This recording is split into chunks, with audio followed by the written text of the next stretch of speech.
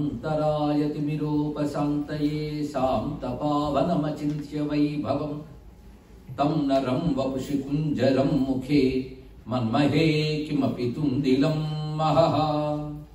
शरणं करवाणि शर्मदं, ते चरणं वाणिचराचरोपजीव्यम् करुणामसृणैः कटाक्षपातैः कुरु माम् अम्बकृतार्थसार्थवाहम्।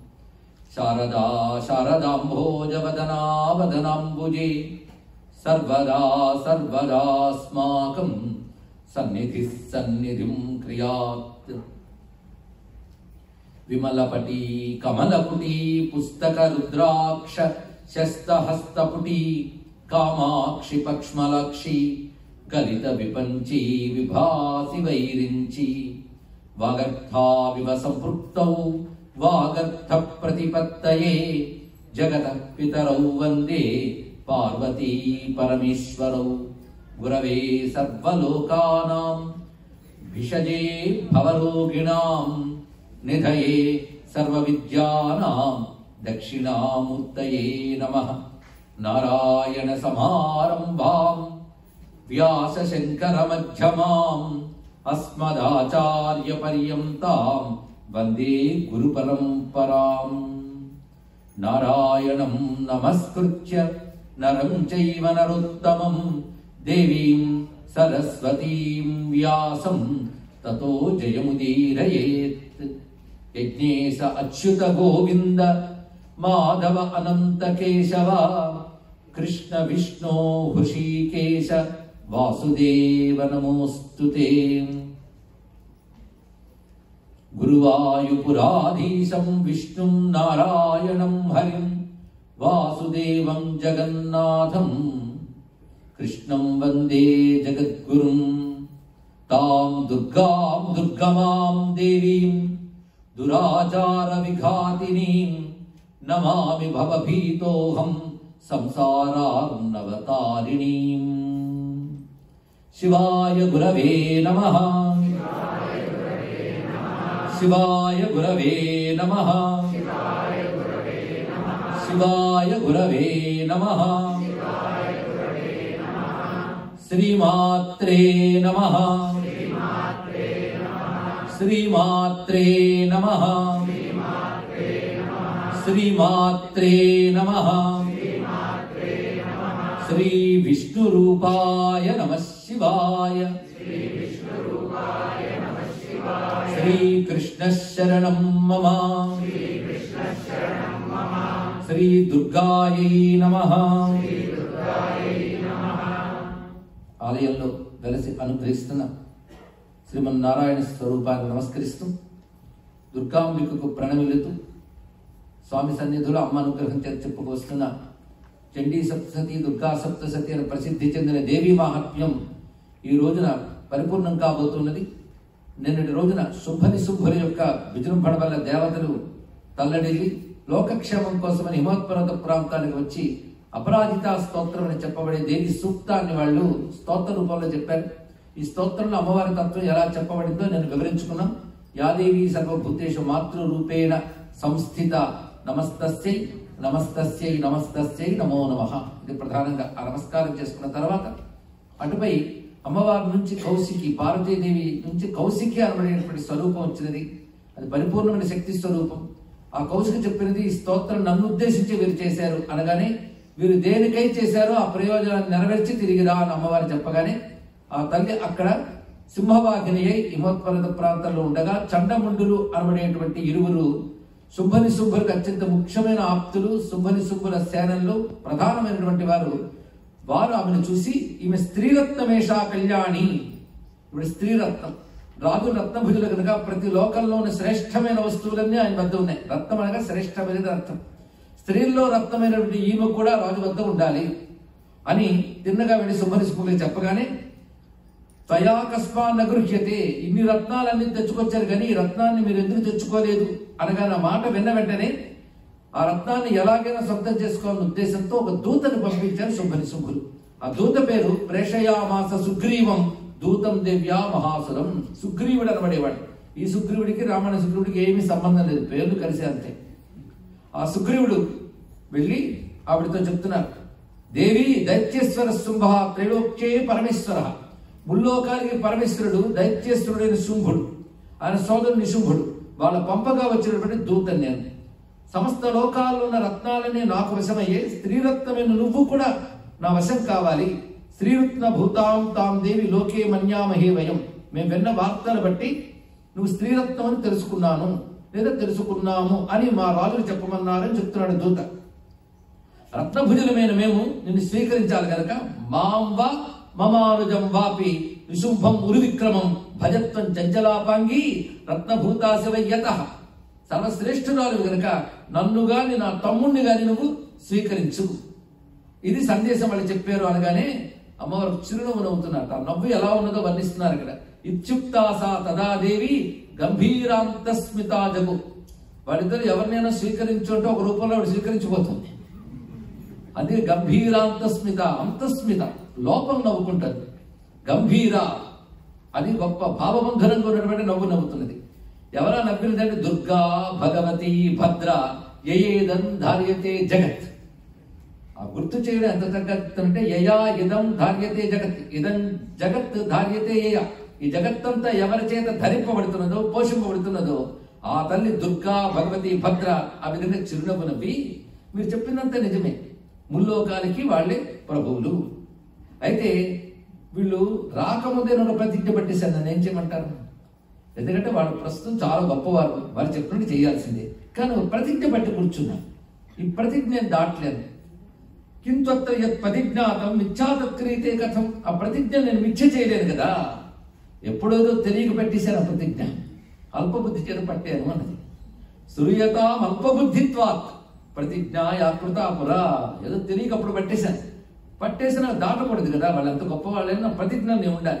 ఆ ప్రతిజ్ఞ ఏమిటంటే యోమాం జయతి సంగ్రామే యోమే దర్పం వ్యపోహతి యోమే ప్రతిభలో లోకే సమయ భర్త భవిష్యతి. ఇది నేను పట్టిన ప్రతిజ్ఞ. ఎవరు నన్ను యుద్ధంలో జయిస్తారో ఎవరు నా దర్పాన్ని అణచుతారో ఎవరు నాతో సమానమైన బలం కలిగి ఉంటారో వారినే నేను స్వీకరిస్తాను అని ప్రతిజ్ఞ పెట్టాను. కాబట్టి అతడైనా అతడు తమ్ముడైనా రమ్మను. మా జిత్వా కించిరేడాత్ర పాణి గృహాత మేలకు. నన్ను జయించి నా చేతిని స్వీకరించమను అన్నది. ఆ మాట చాలా చమత్కారం. పాణి బృందాటకి చేపట్టుట అని అర్థంలో ఉంది. చేపట్టుట అంటే వస్తారు నా చేతితో చూపిస్తానని అర్థం. ఎందుకంటే అమ్మ ఎప్పుడు అసత్యపడే పరిహాసానికి. అదే పాణి బృందాటంటే నా చేతి తీసుకుంటారు వాళ్ళంటే ఆ చేతితో ఏం చేయాలో అది చేస్తాను రమ్మను. అనే భావం ఇందులో ఉందండి. వెంటనే ఆ దూతకు మహాకోపం వచ్చింది. అవనిక్తాసమైవంతం దేవి పురుగి మహాగత నా ముందు ఇలా మాట్లాడడానికి నీకు ఎంత పొగరు? ఎందుకంటే ఆ శుంభని శుంభుల ముందు దేవతలు కూడా గడగడలాడతారు సుమా నిలబడటానికి అటువంటి వాళ్ళు ఇంద్రాజ్య అసకలాదేవా వీళ్ళందరూ కూడాను ఆ శుంభని శుంభుల చేత ఓడింపబడినటువంటి వారే. అది గుర్తుపెట్టుకో. అసలు నువ్వు అన్న మాటకి జుట్టుపట్టు లాక్కు వెళ్ళాలి. అందుకు కేశా కష్ట దూత గౌరవామా గమిష్యది జుట్టు పట్టుకు లాక్కు వెళ్ళేటువంటి గౌరవానికి నువ్వు తెచ్చుకోకు అన్నాడు. అప్పటికమ్మ చిరునవ్వు నవ్వుతుంది. అంత నిగ్రహం ఉంది చిరునవ్వు నవ్వుతూ నేను ముందే చెప్పాను కదయ్యా ప్రతిజ్ఞ పట్టేసేది చెప్పాను. ఏం చేయమంటావు? కింకరోమి ప్రతిజ్ఞామే యద్ అనాలోచితాపుర అనాలోచితంగా ఏం ఆలోచించకుండా ప్రతిజ్ఞ పట్టేశాను. నువ్వు తిన్నగా నీ రాజు దగ్గరికి వెళ్ళి దోత పని చేయి. నేను ఇలా చెప్పానని చెప్పు తర్వాత వాళ్ళు ఏం చేస్తారో చూద్దాం. అది నీ పని అంతే. అనగానే సరే వెళ్ళి చెప్పాడు.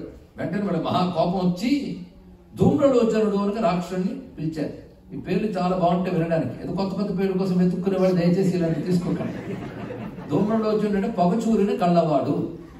వీటిలోని సంకేతాలు కనబడుతున్నాయి. రాక్షస పేర్లన్నీ సంకేతాలే. తత్వత. జరగలేదే లేదు. జరిగే. కానీ జరుగుతూ ఉన్నాయి కూడా. అందుకే ఈ కథలు చదువుకోవడం ఎందుకంటే ఇంకా ఉన్నారు రాక్షసులు. అప్పుడు వెళ్ళిపోయిన వాళ్ళు వెళ్ళిపోయారు. దేవతలకు క్షేమం లోకానికి క్షేమం. ఇప్పుడు జీవుడు ఉద్ధరింపబడడానికి జ్ఞానం పొందిన ప్రతిబద్ధకాలుగా ఉన్న ఎన్నో రాజస తామస శక్తులు ఉన్నాయి. అవే అసురుడు. ఇవి మనలో ఉన్నాయి మన చుట్టూ ఉన్నాయి. వాటిని పరిమార్చి లోకంలో సత్వగుణం దైవీ ప్రవృత్తులు వృద్ధి చేసి క్షేమం కలిగించమని ప్రార్థించడానికి ఏటేటా నవరాత్రులు చండీపారాయణలు వాటి కోసమే. మనలో మన చుట్టూ ఉన్నటువంటి ఆసురి ప్రవృత్తులు అణచివేయబడి దైవీ ప్రవృత్తులు బలం కలగాలి. తద్వారా లోకం క్షేమంగా ఉండాలనడమే ఈ పారాయణుల పూజల పరమార్థము. ఎష్టికి? సమిష్టికి కూడా ప్రయోజనం. మన సంవత్సరం దేవతలకు ఒకరోజు కనుక సంవత్సరానికి ఒక్కసారి అయినా ఇది చేయండి అర్హ అన్నారు అందుకే ఇంద్రుడు ప్రతి సంవత్సరం చేస్తాడు లేదా ప్రతిరోజు చేస్తాడు. వాళ్ళ రోజు అంటే మనకు సంవత్సరం. అందుకే సంవత్సరానికి ఒకసారి అయినా శరణవరాత్రులు చంద్రమనం చేసుకుంటున్నాం. ఆ భావం ఎంత గొప్పది. ధూమ్రలో వచ్చాడు వాడు. హే ధూమ్రలో వచ్చిన ఆసుత్వం తొందరగా నువ్వు సైన్యాలతో కూడి ఆ దుష్టురాల్ని జుట్టు పట్టుకు తీసుకురా. కేశాకర్షణ విఫలాం. తత్పరిత్రాణద కచ్చిత్ జదివోత్తిష్టతే పరహ ఆమె వినకపోతే ఈ పని చేయి. ఆమె రక్షించడానికి ఎవరైనా ఉన్నారనుకో వాళ్ళని సంహరించు. అని చెప్పగానే వెంటనే బయలుదేరి వెళ్ళాడు. సహస్రాణామసురాణాం ధృతం వ్యయం వేల కొలది రాక్షస సేనలతో ధూమ్మరుడు అమ్మవారి వద్దకు వెళ్ళాడు. వెళ్ళేటప్పటికీ అక్కడ పర్వతంపై అమ్మవారు కూర్చుని ఉన్నారు. అది చూసి అక్కడికి వెళ్ళి దైత్యేశ్వరేణ ప్రహితో అక్కడికి వెళ్ళినటువంటి వాడు ఇన్ని సైన్యాలతో వెళ్ళినటువంటి వాడు ఇదిగో ఇప్పటికైనా చెప్తున్నా మా రాజు చెప్పినట్టు నువ్వు రావాల్సిందే అంటే ఏం చేస్తామయ్యా నువ్వు సైన్యంతో వచ్చావు బలంతో వచ్చావు? నేను ఒక్కదాన్నే కదా? నువ్వు బలంతో వచ్చి తీసుకెళ్తే నేను ఏం చేయగలను అన్నది అమ్మవారు. ఆ మాట్లాడుతున్న తీరు చూస్తుంటే ఏమీ ఎరగనట్టే మాట్లాడుతున్నది ఇక్కడ. వెంటనే వాడికి మహా కోపం వచ్చి మీదకు వెళ్ళాడు. వెళ్ళగానే అప్పుడు ఆ కనుబొమలు గుడివేస్తూ హుంకారేణేవ తం భస్మసాచకార అంబికాత హుంకరించిందంటే అమ్మవారు. ఆ హుంకార మాత్రం చేతనే దొంగల లోచుడు అక్కడికక్కడే భస్మం అయ్యాడు అమ్మ హుంకారాన్ని చెప్పుకోండి హుంకారేణేవా ఇవన్నీ మంత్రశాస్త్రంలో కనబడే శబ్దాలు ఇవన్నీ విశేషం.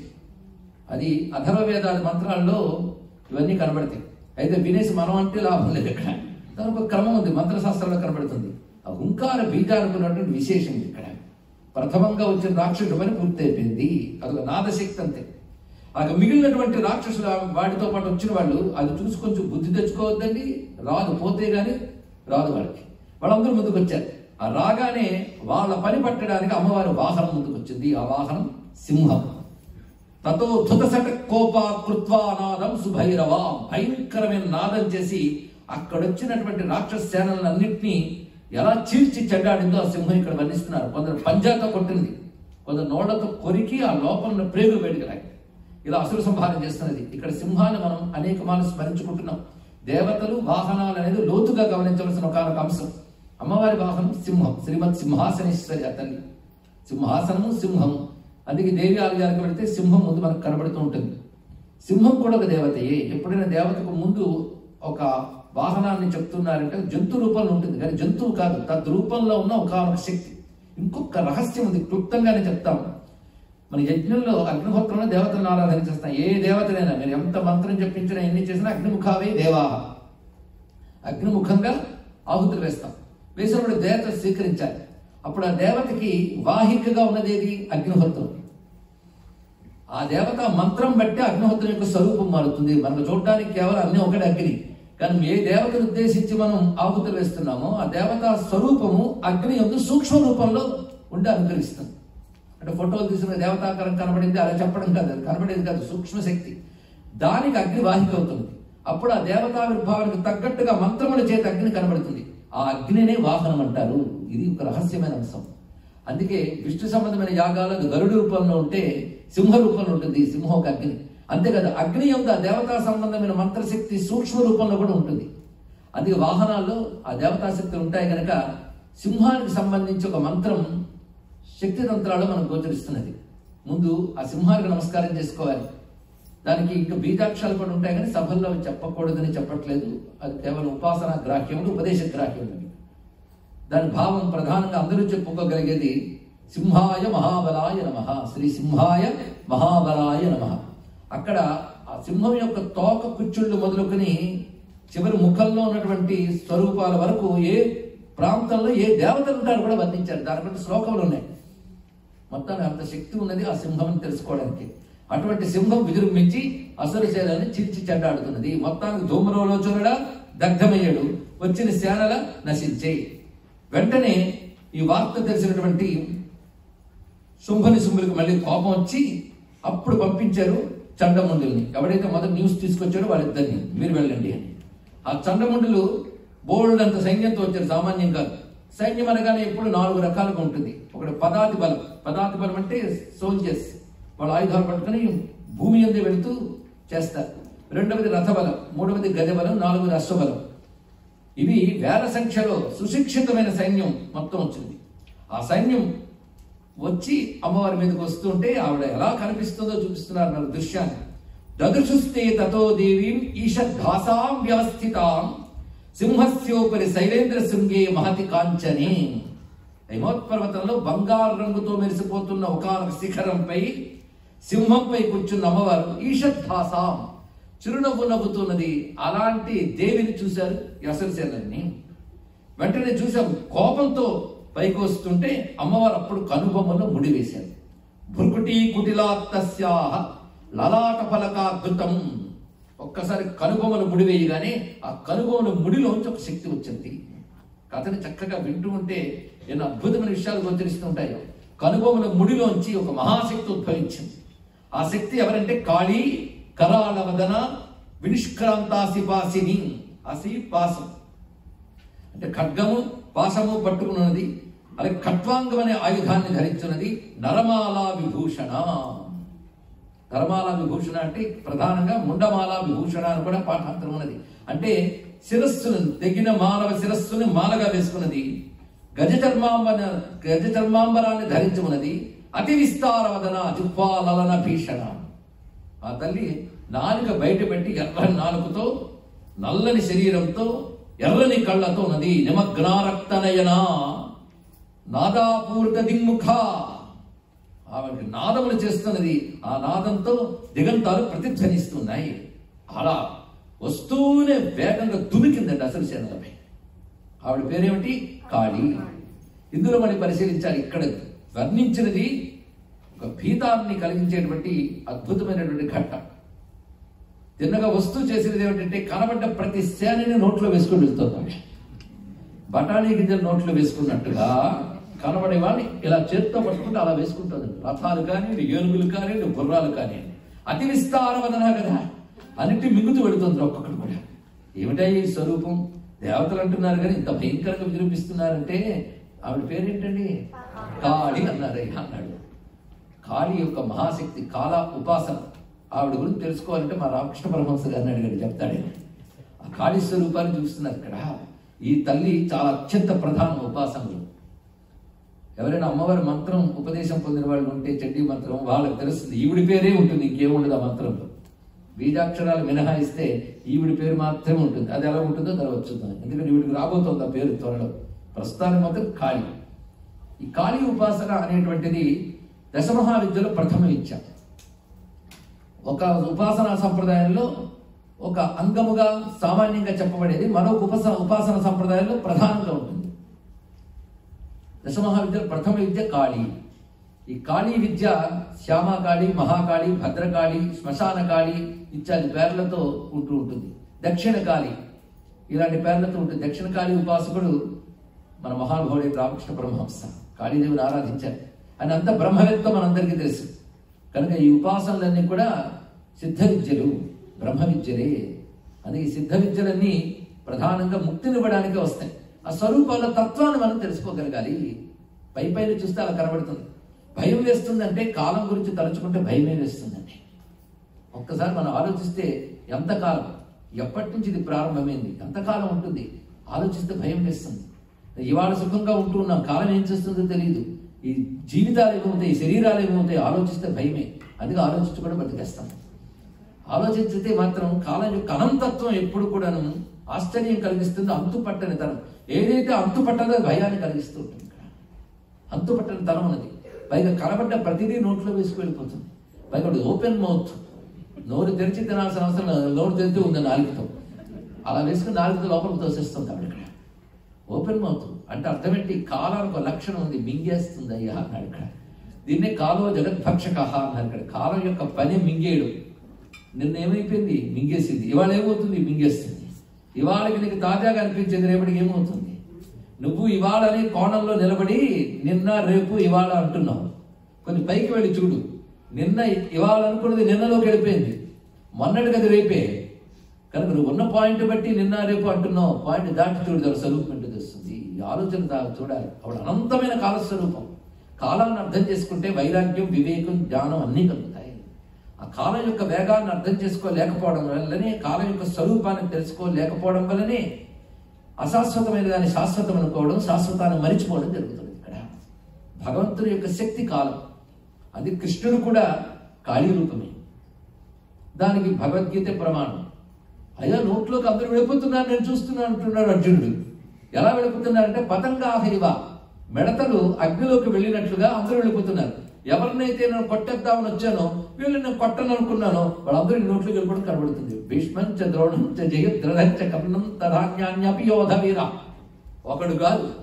అంటే అసలు స్వరూపం చూపించాడు ఆయన కాలం. నువ్వు నీ దృష్టిలో అది భవిష్యత్తు. నా దృష్టిలో కాలం అంతా ఒకటి. కాలమే నేను. అని చూపించగానే అనంత కాల స్వరూపం ఎదురుగా కనిపిస్తాను అయితే కాలం అనంతం. అది ఎంత అనంతం అంటే అంతు పట్టదు అంతు పట్టనిదే అనంతం. అనంతమైన కాలతత్వం లక్షణమే నీలవర్ణం అని నేను చెప్పుకున్నది కాళి నల్లగా ఉన్నది. అలాంటి స్వరూపంతో ఉన్నది అందుకే కాళీదేవి స్వరూపం చూస్తూ రామకృష్ణ బ్రహ్మస్ అంటారు. కుడి చేతితో పైన అభయహస్తం కింద వరదహస్తం అవుతుంది కాళీకి. ఒక రూపం కాళీలో ఒక రూపం దక్షిణ కాళీ. ఇక్కడ ఎడం వైపు ఒక ఖడ్గం తెగిన నరశిరస్సు పట్టుకుంటుంది. ఏమిటయ్యా ఇది అంటే కుడి చేత్తో రక్షిస్తుంది ఎడం చేత్తో శిక్షిస్తుంది అదే కాలం అయ్యా అన్నాడు ఇక్కడ ఇది మనం కాలంలో చూస్తున్నాం ఒకప్పుడు ఆనందంగా ఉంటుంది. అదే శాశ్వతం అనుకుంటాం. మరొకప్పుడు దుఃఖం కలుగుతుంది భయం కలుగుతుంది భీతావహమైన ఘట్టాలు జరుగుతాయి. అది శాశ్వతం అనుకుంటాం. శక్తులు అయిపోతాం అది పోతుంది ఇది పోతుంది. ఈ రెండు చేస్తున్న కాలంలో పని చైతన్యం అలాగే ఉంటుంది. ఇది తెలుసుకోగలగాలి. అంటే కాలం అనే మహాసముద్రంలో సంఘటనలు తరంగాల్లో వస్తూ ఉంటాయి పోతూ ఉంటాయి. సముద్రంలో కాలం అనంతంగా ఉంటుంది. అటువంటి కాలతత్వాన్ని ఎవడైతే ఉపాసిస్తాడో వాడు కాలంలో జరిగే మాయలకి లొంగడు. కాలాతీత తత్వాన్ని కూడా తెలుసుకోగలడు. అంటే కాల ఉపాసన అంత గొప్పది. నమ కాలాయ నమ కలవ కిరణాయ బల వికరణాయ నమో బలాయ బల ప్రవధనాయ అన్నప్పుడు వామ జ్యేష్ఠ రౌద్రి కాల కలవికరణ బలవికరణ ఇవి నవశక్తులుగా చెప్పబడుతూ ఉంటాయి ఇక్కడ. అవి నవశక్తులు. సృష్టి క్రమం అంతా మంత్రంలో ఉందండి. వామదేవాయ అన్నప్పుడు వమనము చేయడం వామనం. తన నుంచి వ్యక్తపరుస్తాడు. వ్యక్తపరిచిన దాన్ని తాను నాయకుడిగా నడపడం. తర్వాత క్రమంగా పెంపొందించాడు కాలస్వరూపంతో. తన బలాన్ని వికిరణం చేయడం. అంటే అంత పంచడం. చిట్ట చివరికి అంత లయం చేసుకోవడం. అంత మంత్రం ఉంది అది రహస్యం. ఆ స్వరూపం ఇక్కడ ఈ కాళితత్వంలో మనం చూస్తున్నాం. కనుక ఆద్యా విద్య ఆ తల్లిని ఒక్కసారి భావన చేస్తే చాలండి ఇక్కడ. అయితే తెగిన శిరస్సులు వేసుకోవడం అంతేకాదు తెగిన చేతులు ఆవిడ మొలకి ఒక గౌన్లా వేసుకుంటారు. అసలు ఇంకేం వస్త్రం లేదు ఆవిడకి. ఆ రెండే ఉన్నాయి ఏమిటయ్యా అంటే అందుకే చెప్పాను హిందూ దేవతలు అబ్బా భయంకరమైన స్వరూపం అంటే. నిన్ను భయపెట్టడానికి వాళ్ళు ఉన్నారు లేని చెప్పాలి ఇక్కడ కాలం అంటేనే భయం నాయన. ఎన్ని ఐడియాలు ఎన్ని ఆలోచనలు. అబ్బా అని ఒక్కొక్కసారి మన తల మీద మనం కొట్టుకుంటుండే ఏం బుర్రా నాది? అని. మన మేధస్సుకు మనమే మురిసిపోతూ తల కొట్టుకుంటాం. ఇలాంటి మేధస్సులు ఎన్ని లేవు? అనంత విశ్వంలో అవన్నీ ఏమయ్యాయి? కాలంలో కలిసిపోయాయి. అప్పటికి వాడు మేధావి. కనుక నేను ఇది ఆలోచించాను. నా ఐడియాలు ఇలా ఉన్నాయి అంటూ ఉంటాం. నేను ఇది ఇచ్చేసాను ఈ రెండే చిక్కులన్నీ నేను ఇది ఆలోచించాను నేను ఇది ఆచరించాను. ఆలోచించే తలకై చేసే చెయ్యి. నీ ఆలోచనలు ఎంతరా? నీ చేతలు ఎంతరా? నా అనంత కాల స్వరూపంలో సర్కిల్గా చుట్టేసుకున్నాను చూడు అని ఆ పుర్రెలమాల ఆలోచనలకు సంకేతము తాను కట్టుకున్నటువంటి చేతుల గౌను ఆచరణలకు సంకేతము. ఇవన్నీ ఆ కాలానికి అట్టుకోబడ్డాయి అంతేకాదు అమ్మా ఇప్పటికి అందరు బ్రహ్మలై ఉంటారు అని అడిగితే నా గుర్తులేదు లెక్కెట్టుకొని దండిస్తాను. దండ కొనుకు పూసలేదు కొనుకు పూస ఉంటే జపమాలా తిప్పచ్చు కొడుకు పూస లేదంటే ఇన్ఫినిటీ అందరు బ్రహ్మలయ్యారో లెక్కలేదు. అయిపోయిన ప్రతి బ్రహ్మగారి యొక్క తలకే తెచ్చి పెట్టుకుంటాడు. ఎన్ని కల్పాలు ఎంత కాలం అనంత కాల స్వరూపిణి ఇంత భావం తెలియగానే అమ్మాని కాలాలకు నమస్కారం చేసుకుంటాం. కలయతి నీతి ఇది కాల ఒక నియతి ఒక నడిపే పద్ధతి ఒక పరిణామ స్వరూపం అలా గోచరిస్తున్నది అయ్యా అన్నారు. ఆ కాలం చూస్తూ ఉండగానే మింగేస్తాం. ఇలా అందరినీ మింగుతుంటే ఈ చండముండలు వచ్చి పైకి వస్తున్నాయి అందుకే మేధలన్నీ కంఠమాలికలుగా మారి చేతలన్నీ తల్లి చేలమ్ములుగా చేరి ఆవరణ లేలేని కాలమే రూపమై ఆనందనాథ హృదయాధివాసిని కాళి నలుపు మలవోని ఒక నెలత నిలిచిన నదిగో చలువ మమతల కొండ కొలుచువారల అండ ఒకనొక నిశ్శబ్ద సీమలో సకలము శమనము పెనిరేయులు. కాలకాలుని కాలి గజ్జల గల గలల లయలలో లయమైన ప్రళయవేళ నలుపు మలవోని ఒక నెల నిలిచిన స్వరూపం. అటువంటి ఆ స్వరూపం అక్కడ మింగేస్తుంది. అందరిని నోట్లో వేసుకుందంటే ఆ స్వరూపం ఎంత ఉంటుందో ఊహించుకోండి అంత అంతంత అనుకున్న రాక్షసుల పనంతా పూర్తయిపోయింది. దానితో మహా కోపంగా దుష్ట్వాచండో విదుద్రావ తాం కాళీం అతి భీషణాం. ఆయుధాలు ప్రయోగిస్తూ చంద్రుడి పైకి వెళ్తున్నాడు. పైగా చక్రాలు వేస్తున్నాడు. ఈ చక్రాల నోటికి మింగేసి చక్కిలని నిలబెట్టాడు అలా మింగేసి తర్వాత వేస్తున్న ఆభరణాలన్నీ ఆవిడ చూస్తూ ఉన్నది. అవన్నీ లోపలికి లేకనే ఏమీ చేయలేదు అవన్నీ తతో జహాస అతి ఋషా భీమం భైరవనాదిని కాళీ కరాళ వక్త్రాంత దుర్దశ దశనోజ్వల ఉత్థాయిత మహాసింహం దేవీ చండమధావత గృహీత్వా తస్య కేశ శిరస్తేన శిరాక్షర తిన్నగా వెళ్ళి అక్కడ ఉన్నటువంటి ఆ తల పట్టుకుని చేత్తున్న ఖడ్గంతో ఖండించింది. వెంటనే ముండు కూడా పరిగెత్తుకొచ్చాడు. నువ్వెందుకు రా? అని వాడి తల కూడా ఖండించి ఆ రెండు తలలు పట్టుకొస్తుంది ఇక్కడికి. కౌశికీ దేవి దగ్గరికి వచ్చి చెప్తోంది ప్రాహ ప్రచండ అట్టహాస మిశ్రమభ్యేత్య చండికాం ప్రచండ అట్టహాసం చేస్తూ చండిక వద్దకు వచ్చి అంటే దుర్గాంబ వద్దకు వచ్చి మయా తవాత్రోపహృతవు చండముండవు మహాపశు యుద్ధ యజ్ఞే స్వయం శుంభం నిశుంభం చ హనిష్యసి. నువ్వు చేస్తున్న యుద్ధ యజ్ఞంలో ఈ రెండు పశువుల్ని నేను మధించి తీసుకొచ్చాను తీసుకోవాలి వెంటనే భేష్ అనేది ఆ తల్లి అని తస్మాత్ చండం చ ముండం చ గృహీత్వా త్వముపాగత చాముండేటి తతో లోకే ఖ్యాతాదేవి భవిష్యసి. నువ్వు చండుణ్ణి ముండుణ్ణి సంహరించావు గనక నీ పేరు చాముండా అని పేరు ఉంటుంది. ఇది అమ్మవారి చాముండా నామం ఇంత విశేషం. చండముండ సంహారిణి చాముండా. ఈ మాట అన్నప్పుడు ఎలా అన్నది అని చెప్తున్నారు. ఆ దుర్గమ్మ అంటుంది ఈ మాట. కాళీతో. ఇప్పుడు కాళీ ఏమైంది? చాముండ అయింది. కనుక చాముండ ఉపాసన కాళీ ఉపాసనయే. కాళీ ఉపాసన ప్రయోజనాలన్నీ చాముండాతో వస్తుంది. ఇది ప్రధానం. అమ్మవారిని ఈ మంత్రం ద్వారానే పట్టుకోగలుగుతున్న. పూర్ణశక్తి. అంటే ఇది పూర్ణశక్తి స్వరూపమే. ఎక్కడి నుంచి వచ్చిందండి ఈవిడ? మరొక్కసారి కథలోకి వెళ్ళాలి. కనుబొమ్మల ముడిలోంచి వచ్చినది. భృకుటి నుంచి ఉద్భవించింది. ఆ తల్లితో జగన్మాత కాళీ ఉవాచ కళ్యాణి లలితం చండికావచ ఆ మాటలు అన్నప్పుడు కళ్యాణి అని అమ్మవారు లలితమైనటువంటి మాటలు పలుకుతున్నారు. కాళీని ఉద్దేశించి. లేదా కాళీ లలితం వచ లలితమైన వచన వచనాలతో కాళీని ఉద్దేశించి పలుకుతోంది చండిక. అంటే చండిక ప్రధాన శక్తి. చాముండ తది అభిన్న ఇందులో కనుబొమ్మల ముడిలోంచి వచ్చింది. ఇవన్నీ సంకేతాలు తెలుసుకోవాలి. అందుకే పురాణ కథలు మానవుల వృత్తాంతాలు కావు. ఇది ముందు తెలుసుకోవాలి. ఇది తెలియకపోవడం వల్ల ఏం జరుగుతుందంటే ఈ మన ధర్మంపై బురద చల్లాలని ప్రయత్నించేటువంటి వారు ఇవేవో జాతుల మధ్య జరిగిన వైరాలను చూపిస్తున్నారు. మహిషాసురుడు ఏదో ఒక వర్గానికి చెందినవాడు జాతికి చెందినవాడు. కనుక మేము మహిషాసురుడినే పూజిస్తాం అనేటువంటి కుబుద్ధి ఎలా పుట్టిందో తెలియదు. యుగాల నుంచి చదువుకున్న ఏ హిందువుకి ఏ మానవుడికి కూడా బుద్ధి పుట్టదు. అంటే మానవుడిగా కూడా చెప్పుకోలేని దుష్టబుద్ధులు ఉన్నాయి. వాళ్ళకి మేధావి స్థానం ఇచ్చేటువంటి భయంకరమైన పనికి వాళ్ళ వ్యవస్థ ఉంటుంది మనకి. వాళ్ళు చెప్తుంటారు ఈ మాటలు. మహిషాసురుని పూజించే వాళ్ళు అసలు బ్రతకను వచ్చండి వాడు ఎలా దేవుడు అవుతాడు? అది అసుర దేవ అనేది జాతి. అది మానవులకు సంబంధం లేదు. అందుకే దేవ అసుర మానవ అని మూడు వర్గాలు కనబడుతున్నాయి పురాణంలో. ఒక జాతిని తీసుకొచ్చి అసురులతో పోల్చి చెప్తే ఆ జాతిని అవమానించినట్లే కదా. ఇది తప్పు ఇప్పుడు తెలుసుకోవాల్సింది అయితే మానవులకు ఇన్వాల్వ్మెంట్ లేదు అంటే దేవతలు మానవుల క్షేమం కోసం పనిచేస్తుంటే ఆ దేవతలు నడిచేశారంటే క్షేమం మానవులకు దెబ్బతింది. అందుకే మానవక్షేమాన్ని దెబ్బతీసే వాళ్ళు అసలు ఇప్పుడు మహిషాసుడు కావచ్చు చండముండు కావచ్చు శుంభనిశుభులు కావచ్చు వాళ్ళ లోక కంటకులు. కానీ త్రిలోకాన్ని రక్షించవలసిన బాధ్యత కలిగిన దేవతలకి వాళ్ళ పనికి వాళ్ళు అవరోధం కలిగించారు కనుక ఆ పనిలో నియమించిన పరాశక్తిని వాళ్ళు ఆశ్రయించారు. ఇది తెలుసుకోవాల్సిన అంశం. ఇంత చక్కగా స్పష్టంగా కనబడుతుంటే లేనిపోని అర్థాలు పులిమి కువ్యాఖ్యలు చేస్తూ మన గ్రంథాలను అద్భుతాలు తెలుసుకోనివ్వకుండా చేస్తున్నారు కొంతమంది. అసలు తెలుసుకునే ప్రయత్నం కొందరికి లేదు. తెలుసుకోవాలనుకుంటే ఇలాంటివి తెలియజేస్తున్న దుష్టవర్గాలు ఉన్నాయి అలాంటి దుష్టవర్గాలైన అసురుల్ని సనాతన ధర్మదేవతైన దుర్గమ్మ శిక్షించుగాక అని ప్రార్థన చేస్తున్నాం. మొత్తానికి అలా అమ్మవారి మింగొచ్చారు ఏమిటి ఆ స్వరూపం తెలుసుకోవాలి. కాడి ఎక్కడి నుంచి వచ్చిందన్నో కనుబొమ్మల గుడి. ఒకటికి పది మార్లు ఎందుకు అడుగుతున్నామంటే ఇక మర్చిపోరాదని. అమ్మవారి స్వరూపం అంటేనే విశ్వ విగ్రహ అమ్మ స్వరూపం అంటే విశ్వ విగ్రహ అదే మనం మొదటి నుంచి గమనిస్తున్నాం. ఏయాకత మీద జగత్ దగ్గర నుంచి ఇక్కడ విశ్వ విగ్రహ అయినప్పుడు ఆవిడ యొక్క కనుబొమ్మల ముడి అనగానే ఆ విగ్రహంలో ఆజ్ఞాచక్ర స్థానం అది సమిష్టి ఆజ్ఞాశక్తి. వ్యక్తికి వెష్టిగా ఉంటుంది ఆజ్ఞాచక్రం ఇచ్చారు. సమిష్టి ఆజ్ఞాశక్తి. అక్కడ నుంచి వచ్చింది అంటే అమ్మవారి ఆజ్ఞాశక్తి స్వరూపమే కాళీ ఆజ్ఞ అంటే ఆర్డర్ నియమన శక్తి. ఈ జగత్తి నియమించేది కాలమే నియమిస్తుంది. నువ్వు ఎంత చెయ్యు కాలం సమాధానం చెప్తుంది. నియామక శక్తి కాలమే. జగత్తంతా కాలాధీనం.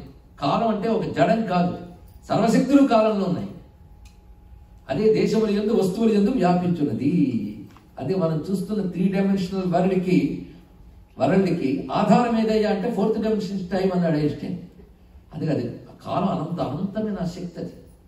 ఆ కాలంలో సర్వశక్తులు లీనమై ఉంటాయి. ఆ లీనం చేసుకునే శక్తి కాలం అదే కాలాన్ని ఉపాసిస్తే ఎప్పుడు ఏ కాలంలో ఏమి ఇవ్వాలో ఇస్తుంది నువ్వు ఆ కాలంలో తెచ్చుకునే యోగం నీకు లేకపోయినా కాలశక్తిని ఉపాసించగలిగిన లాక్కునేనే ఇవ్వగలుగుతాడు. అది కాళీ ఉపాసన విశేషం ఇక్కడ అమ్మ ఆజ్ఞాస్వరూపమే ఆజ్ఞ.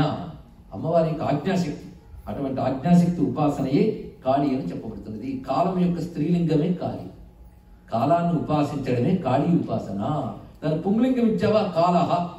ఈ కాలం అనేది మనం చూసేది పరిమితి కాలం దీనికి ఆధారం అనంతకాల స్వరూపం.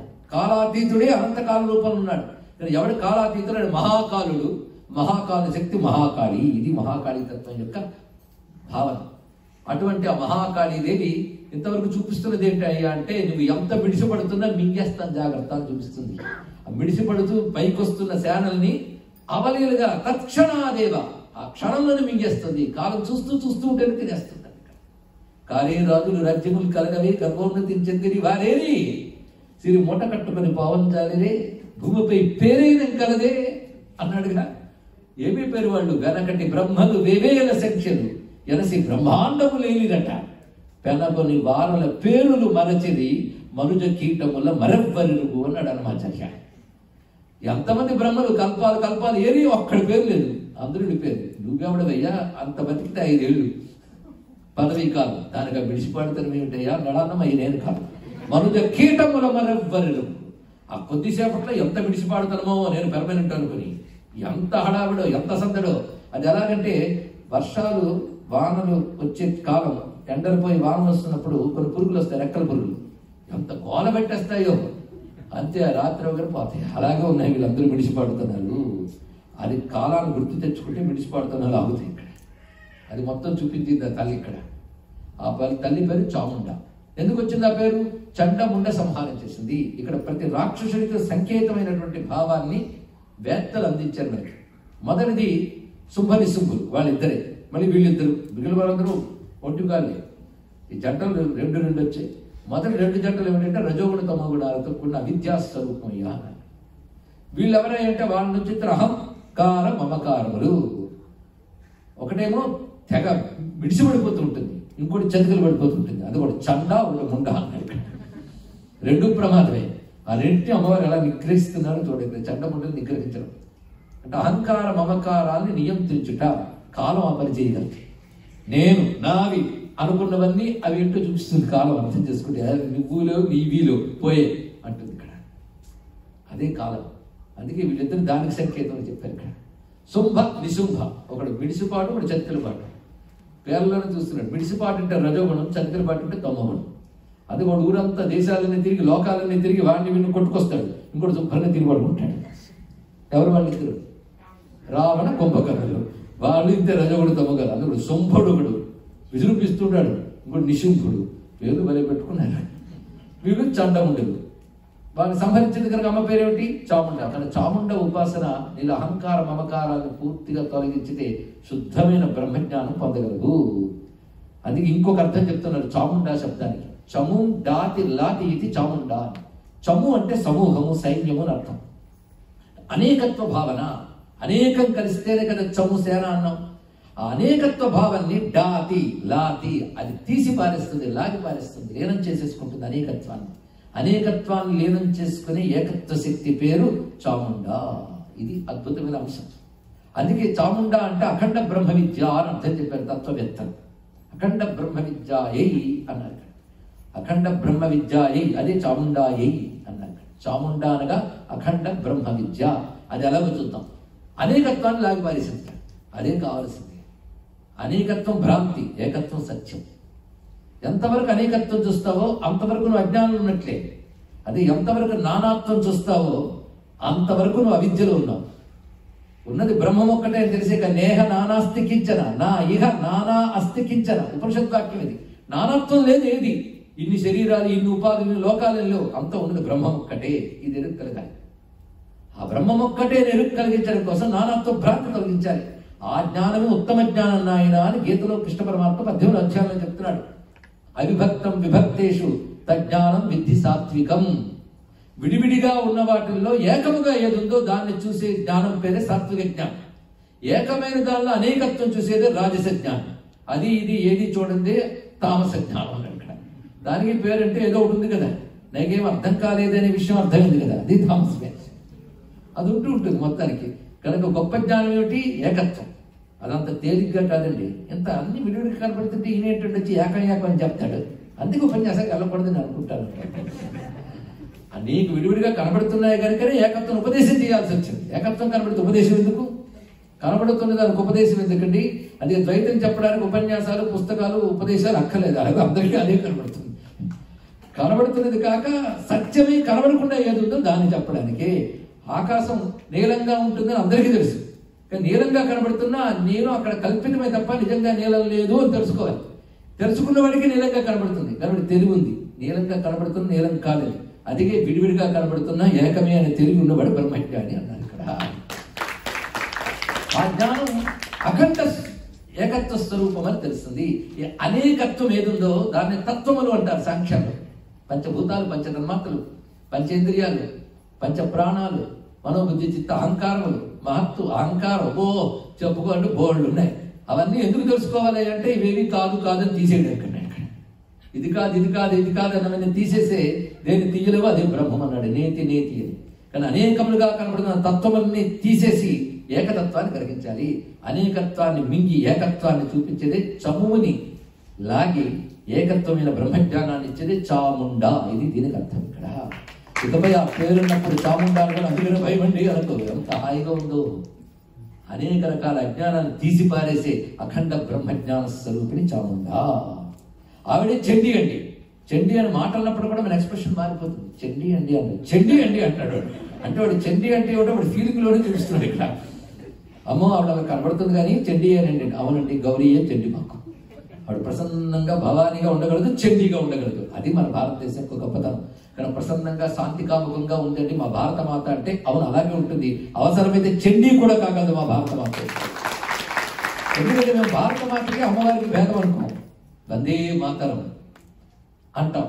ఆ వందే మాతరుని తమ్మి దుర్గా దశ ప్రకరణధారిణి బంకించంద్ర చటర్జీ పూర్ణ పాఠంలో చూపిస్తున్నాడు ఇక్కడ. కనుక మాకు అమ్మవారికి మా దేశానికి ఈ భేదం లేదు. అది మా సనాతన ధర్మం యొక్క సంస్కృతి. నన్ను కని పెంచి పోషించే భూమాత దేశమాత మాకు అమ్మే. అందుకే అక్కడ హిమవత్ పర్వతం అనగానే మా అమ్మ గుర్తొస్తుంది. హిమాచల మహాంస పావిని ఉమా శైలేంద్ర తనయ. మధ్యలోకి వస్తే దివ్యమైన వింధ్య పర్వతాలు ఆవిడ వింధ్యవాసిని అండి. మళ్ళీ క్రిందకి వస్తే మలయ దేశంలో? మలయాచలం. అక్కడ మాతా మలయాచలవాసిని మా భారతదేశంలో ఆది మధ్య అంతా అమ్మే. ఈ మధ్యలో భాగంలోనే అమ్మే. అమ్మలేని చోటు ఏమిటి అష్టాదశ శక్తి పీఠాలు కదా అనంత శక్తి పీఠాలతో కొలువి ప్రకాశిస్తున్న భరత మాత ఎంత శాంతి అయిన గౌరీ అయిన భవానీ అయిన లక్ష్మి అయిన సరస్వతియో తేడా వచ్చి వ్యూహాలు పని లోపల బయట వస్తే తాట తీయగలిగిన చండీ మాత. అది మనకి చండీ వాళ్ళు అందుకే తొమ్మిది దుర్గా దశ ప్రహరణ ధారిణి వందే మాత్రం. ఆ చరణం తీసిపారేశారు వీళ్ళు బంకించ చటర్జీ హృదయం మాత్రం అదే తెలుసుకోండి ఇక్కడ. అది సనాతన ధర్మ హృదయం అది వైదిక హృదయం. ఆ మంత్రమే భారతదేశానికి స్వాతంత్ర సిద్ధి పనికి రావడానికి పనికొచ్చిన మహామంత్రం. మరువురా వందే మాతరం వందే శ్రీ మాతరం వందే చండీ మాతరం. కనుక చండీ అంటే అర్థం ఏంటో ఇప్పుడు తెలుసుకోవాలి. ఎవరు పార్వతి సౌమ్య సౌమ్య సౌమ్యతరాశేష సౌమ్య బెస్తతి సుందరి పరం సౌమ్యురాలని చెప్తూనే అతి సౌమ్య అతిరౌద్రాయి అని నిన్ననే చెప్పుకున్నారు. రెండు ఆవిడే. ఎప్పుడు ఏదో అవసరం అది కావాలండి. కానీ కోపస్వరూపుడైన అమ్మవారికి చెడి ధాతువు కోపే అన్నారు. చెడి అనే ధాతువుకి చడి అనే ధాతువుకి కోపం అని అర్థం. ధాతుజన్యమైన శబ్దం కనుక చెండి. అంటే కోపస్వరూపుడి అని అర్థం. ఏమిటా కోపం అంటే నమస్తే రుద్రమన్యవా? పరమేశ్వరుడు యొక్క ఆగ్రహశక్తి అగ్రశక్తి ఏమిటంటే ధర్మ విరుద్ధంగా ప్రవర్తించిన వారి పట్ల పరమేశ్వరి ప్రకృతి రూపంగా కూడా క్షోభపడడం క్షోభ చెందించడం మనం చూస్తూనే ఉన్నాం. ప్రకృతిలో కోపం లేదు. గాలి లేకపోతే ఎవరు ఉండలేం. కానీ విసిరి కొట్టి ఇళ్ళను కూడా తీసే గాలిని మనం చూడలేదా? అప్పుడు గాలి అక్కర్లేదు అనగలవా? అంటే బ్రతికించేది గాలే బ్రతుకు తీసేది గాలే. బ్రతికించేది నీరే బ్రతుకు ముంచేది నీరే. వెలుగిచ్చి రక్షించేది అగ్ని తగలబెట్టేది అగ్ని. కనుక నువ్వు దేని వల్ల రక్షణ పొందుతున్నావు దానిలోనే శిక్షించే శక్తి ఉన్నప్పుడు ఒక్కదానిలో రెండు ఉన్నప్పుడు మా అమ్మ కూడా ఒకదానిలో రెండు చూపిస్తుంది. వాళ్ళ అమ్మ విశ్వరూపం. కానీ విశ్వంలో ప్రతి స్వరూపం అమ్మవారి అన్నప్పుడు ప్రతి దానిలో రెండు చూస్తున్నావా లేదా? కానీ ప్రతి దానిలో రెండు ఉంటాయి. ఈ రెండింటిలో ఏదో ఒకటి ఉండాలన్న వరకు రెండవ దానికో ప్రయోజనం ఉంది. తగలెట్టే స్వరూపం లేకపోతే కర్రలు ఎలా పెట్టుకోగలం ముంచేసే స్వరూపం లేకపోతే ఎలా శుభ్రం చేయగలరు జలంతో ప్రతిదానికి రెండో స్వరూపం స్వరూపం ఉండాలి ఉంటుంది. అయితే రెండు నాకు బాగుండాలని కోరుకో మంచిది. అప్పుడు అది ఎలా తెలుస్తుంది? రెండుగా ఉన్నా ఆవిడ అమ్మే అని తెలుసుకుంటే రెండు మనం అనుకరిస్తాయి. అందుకే అమ్మవారిని ఉపాసించే వాడికి ప్రతికూలం కూడా అనుకూలం అవుతుంది కంటే ప్రతికూలం ఎవరో తెస్తే అమ్మవారు చేయడం కాదు. రెండు రూపాయలు ఆతేలో ఉన్నది. అది గ్రహించవలసిన అందమైనటువంటి అంశం అండి ఇక్కడ. అదే చెండి అనే మాటకు అర్థం ఏమిటంటే కోపమే. ఏమిటా కోపం అంటే భగవంతుని కోపానికి మన్యమని పేరు పెట్టారు. ఈ కోపం ఎలాంటిదో చిన్న ఉదాహరణ చెప్తాం. అంతవరకు ఒక స్త్రీ పరమ సౌమ్యురాలు తల్లి అయ్యింది పిల్లల్ని రక్షించుకోవడం ఎలా రక్షించడం కోసం ఎలా తాపత్రయపడుతుందో చూడాలంటే మన దృష్టిలో అల్ప ప్రాణులు కొందరు చూద్దాం. కుక్క ఉంది కుక్క ఇలా అంటే ఉలికిపడుతుంది ఆ కుక్కకి సంతానం కలిగింది అనుకోండి మీరు వెళ్ళి ఆ సంతానం చెయ్యి వేయండి. కుక్క పిల్లల మీద చెయ్యి వేస్తే ఆ కుక్క చూపిస్తుంది. అది గ్రామ సింహం కాదు సింహం అని తెలుస్తుంది. అంత దగ్గర కోళ్ళు ఉంటాయి. ఆ కోడి పిల్లలతో వస్తుంటుంది. పిల్లలు మీరు చేయవేయండి ఆ కోడి జూలెత్తి నరసింహంలో వస్తుంది ఒక్కసారి ఇక్కడ. ఒక్కసారి హఠాత్తుగా ఎలాగా అంత ఇదివరకు ఉప్పంటే మరి పారిపోయేది మీదకు వస్తుంది తన పిల్లల్ని కాపాడటం కోసం. అంటే ఆ దానిలో కూడా శక్తి ఉంది చూసారా ఉగ్రత బయటకు వచ్చింది. ఉగ్రత దేనికోసం వచ్చింది? నిన్నొచ్చి పొడవాలనో కరవాలనో కాదు తన వారిని రక్షించుకోవాలి ఇక్కడ. అదే తనను ఆశ్రయించిన వారిని రక్షించడం కోసం పరాశక్తి నుంచి వ్యక్తమైన కరుణారూపమైన ఆగ్రహమే చెండి. ఇది చెండి అలాగే చెండి అనే దాని మరొక భావం చూద్దాం. ఒక శక్తి యొక్క పూర్ణ ప్రకటనం చెండి. సూర్యుడు చండభాస్కరుడు. ఎప్పుడు? ఆయన కాలం వచ్చినప్పుడు ఆయన అప్పుడు ఆయన చండ అన్నవలేదా దాన్ని స్త్రీ చెంది చండభాస్కరుడు. చండభాస్కరుడు అయినప్పుడు ఆయన యొక్క శక్తి తీవ్రంగా తెలుస్తుంది. ఇక్కడ భగవంతుడి శక్తి తీవ్రంగా వ్యక్తమైనప్పుడు చెండి అవుతుంది. ఒకప్పుడు ఒక మహానుభావుడు తపస్సు చేశాడు శివుడి కోసం. దర్శనం ఇయ్యవయ్యాలి అసలు రూపం చూపించాడు కళ్ళు పోయి. గౌరవం నేర్చాడు. అప్పుడు కళ్ళ నుంచి రూపం చూపించాడు. అంటే భగవంతుడు మనకు కనబడాలంటే తన రూపాన్ని ఒదిగించుకుని దించుకుని కనబడితే నువ్వు చూడగలవు. అని అసలు చూపిస్తే చూడగలవా? కనుక సంపూర్ణ శక్తి ప్రకటనమే చెండి ఇది ఒక అర్థం ఇక్కడ. ఈ భావాలతో మీరు భావించారు చెండి చాముండ అర్థమైంది కదా? ఈ రెండు చెప్పకుండా వెళ్ళిపోతే చెండి హోమానికి చెండి సప్సంగి ఏం చెప్పినట్టే అందుకే అసలుత్వాన్ని పోగొట్టాలంటే చండత్వం బయటకు రావాల్సిందే. అది భగవంతుని చండత్వం. భగవతి యొక్క చండత్వం కనుక దాని అసలు ప్రయోజనం శిక్షించిన వారికి రక్షించిన వారికి శుభమే.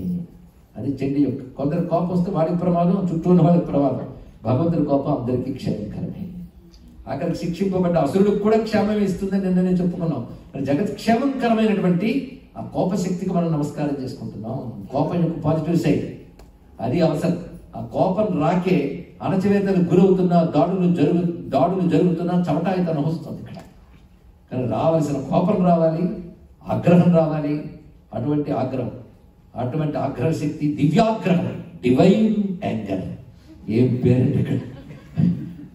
ఎందుకంటే అలాంటి వర్డ్స్ పెడితేనే మనకి నచ్చుతుంది. డివైన్ యాంగర్ అది చాలా అవసరం. కొన్నాళ్ళకి కోపం కూడా అలా పోయింది అనుకోండి దానికంటూ మనం యోగా క్లాసులకు వెళ్ళాలి. కోపం ఎలా తెచ్చుకోవాలి? అదే నడకలు మానేయడం వల్ల నడకలకు ఒక టైం కేటాయిస్తున్నాం అలా ఉంటే ఒక్కొక్క దానికి కనుక అది కూడా అవసరమే. అయితే మన కోపాలు ఉంటాయి. ఎప్పుడంటే వ్యక్తి ప్రయోజనం దెబ్బతింటాయి. అదే సమూహ ప్రయోజనం ధర్మం దెబ్బతింటే కోపం రాదు. అది వచ్చింది. బాధ ఎందుకంటే నాది అనుకోవడం లేదు. అది వచ్చింది. కొందరు ఉంటారు వాళ్ళది అనుకున్నది ఏది ఉందో అది అర్థరహితమైన దాన్ని కాపాడు కోసం ప్రపంచం కాపాడుకోవడం కోసం ప్రపంచమంతా అల్లకల్లోలం చేస్తుంటారు కానీ అత్యద్భుతమైన ధర్మం అనుకుంటూ ఉంటే దాన్ని కాపాడుకోవాల్సిన కోసం ఎవడు ఏమి చేయట్లేదు. పోతే నాకేమిటి అనుకుంటున్నాను కనుక ఆ చెడ్డి ప్రతి వారిని అనుగ్రహించుగాక ప్రతి వారిలో తన ధర్మాన్ని రక్షించుకోవాలని ఆగ్రహం విజృంభించుగాక ఆ సమిష్టి ఆగ్రహం చెండి మాటగా లోకాన్ని కాపాడుగాక. ఇంతవరకు చెండి కాకుండా తప్పని తెలుసుకున్నాం. తత్వపరంగా ధర్మపరంగా కూడా దీన్ని అన్వయించుకోవాల్సింది. కానీ తత్వపరంగా సంపూర్ణ శక్తి ప్రకటనమే చెండి. ధర్మపరంగా లోకరక్షణ కోసం చూపించే భగవద్ ఆగ్రహమే చెండి. మీరే చండ భాస్కర అంటున్నారు. చెండి భాస్కరి అనండి సరిపోయింది తెలియక ఇచ్చారంటే ఇచ్చారంతే చండత్వం ప్రపంచంలో ఉంది. తత్స్వరూపాన్ని కూడా ఉపాసిస్తున్నాం. మొత్తానికి ఇప్పుడు చాముండ వచ్చిన తర్వాత ఇంకా చండముండులు. నిజానికి అంత హెల్ప్ చేశారండి సోమరి సుంబుడికి ఎంత రాజభక్తం సుమ్మని సుమ్మరికి చాలా బాధ కలిగింది. ఆ ధూమరాజుని పని పెద్ద ఏం అనిపించలేదు కానీ వీడు పోయేటప్పటికల్లా వాళ్ళు తట్టుకోలేకపోయారు దానితో వాళ్ళ దగ్గర ఉన్న సేనలన్నీ పిలిపించుకున్నారు. ఓపికగా చదివితే ఇన్ని రకాల సేనలు? కాలకాహ నవహృదాహ మౌర్యాహ కాలకేయాహ. ఇలాంటి అసురులు అందరందరందరినో సైన్యాలుగా చేసుకుని మొత్తం మొత్తం సేనతో బయలుదేరిపోయారు ఎవరు? శుభని శుభ్రులు బయలుదేరి వచ్చారు ఆ వెళ్ళేటప్పటికీ అంత సేనలు రాగానే పైనుంచి దేవతలు చూస్తున్నారు చూస్తున్న దేవతల్లో వాళ్ళ ప్రమేయం లేకుండా వాళ్ళ నుంచి శక్తులు బయటకు ఇది ఆశ్చర్యమైన ఘట్టం అంటే ఇక్కడ. ఆ చూస్తున్న వాళ్ళు ఎవరెవరు చూస్తున్నారు అంటే బ్రహ్మ ఈశ గుహ విష్ణువునా తథా ఇంద్రస్య శక్తయ శరీరభ్యో వినిష్క్రమ్య తద్రూపై చండికాం యయు అక్కడ చూస్తున్న బ్రహ్మ ఈశ గుహ విష్ణు గుహ అంటే కుమారస్వామి. ఈ వీళ్ళందరిలోంచి శక్తి బయటకు వచ్చేస్తుంది. అంటే వాళ్ళు మా శక్తి అమ్మవారికి హెల్త్కి వెళ్ళుగాక అనుకోవట్లేదు. ఈవిడ సంకల్ప మాత్రం చేత వాళ్ళలోంచి శక్తి బయటకు వస్తుంది ఒకటి ఎలా వస్తుందంటే ఆ దేవత ఏ రూపంతో ఉన్నాడో అంటే బ్రహ్మదేవుడు ఎలా రూపంతో ఉన్నాడో ఆ నుంచి శక్తి అలాంటి రూపంతోనే వెలుకొస్తుంది అయితే శక్తి స్త్రీ రూపంలో వస్తుంది. ఆయన పుం రూపంలో ఉన్నాడు. పుం రూపంలో ఉన్నటువంటి బ్రహ్మదేవుడి నుంచి శక్తి స్త్రీ రూపంగా వస్తాం. అతను ఎలా ఉన్నాడో అలాగే ఉంది కనుక ఆయన పేరు ఇవిడికి పెట్టేయాలి. ఎవరెవరు ఎలా వచ్చారో చూపిస్తున్నారు. బ్రహ్మ నుంచి వచ్చిన శక్తి ఎలా ఉందంటే హంసవాహనంపై కూర్చొని అక్షమాల కమండలవు దాల్చి ఉన్నది. ఆయాత బ్రహ్మణ శక్తి బ్రహ్మాణి సాభిధీయతే. ఆవిడకి బ్రహ్మాణి లేదా బ్రాహ్మి అని పేరయ్యా అన్నాడు. రెండవది మాహేశ్వరి. మాహేశ్వరి అనగానే మహేశ్వరుడు యొక్క శక్తి. ఈవిడ ఎలా ఉన్నదంటే వృషారూఢ వృషభవాహనం. కూర్చుని ఒక చేత్తో త్రిశూలం ఒక చేత్తో వరదహస్తం దాల్చి మహాహివలయ సర్పాలంకృతయి చంద్రరేఖ విభూషణ. చంద్రలేఖ దాల్చి ఉన్నది. ఆ రెండవ ఆవిడ పేరు మహేశ్వరి. ఇంకా మూడవది కౌమారి కుమారస్వామి యొక్క శక్తి. శక్తి హస్త శక్తి అనబడే ఆయుధాన్ని ధరించి మయూర వరవాహన మయూరంపై ఉంటూ యోద్ధు అభ్యాయవు యుద్ధం చేయడానికి ఉత్సాహంగా వచ్చినది గుహరూపిణి కౌమారి. తథైవ వైష్ణవీ శక్తి విష్ణు శక్తి ఎలా ఉన్నదంటే గరుడోపరి సంస్థిత గరుత్మంతులపై కూర్చుని శంఖ చక్ర గదా శాంగ ఖడ్గాస్తాభ్యుపాయయౌ శంఖము చక్రము గదా శాంగము ఖడ్గం అంటే నందకమనబడే ఖడ్గం శాంగం అనే ధనుస్సు పంచజన్యమనే శంఖము సదృశ్యమైన చక్రము కౌమోదికనబడే గద పట్టుకొచ్చింది. వైష్ణవి. ఇంకొకటి యజ్ఞవరాహమతులం. యజ్ఞవరాహ స్వరూపం. అంటే వరాహమూర్తి యొక్క స్వరూపం. అదే వరాహవదనంతో ప్రకాశిస్తూ వచ్చిన తల్లి వారాహి అని చెప్పబడుతున్న శక్తి. తర్వాత నారసింహి నృసింహస్య బిభ్రతి సదృశం వపు నృసింహుడితో సమానమైన స్వరూపమే. ఎలా ఉన్నదంటే జూలు విదిలిస్తూ వస్తుంది ఆ తల్లి.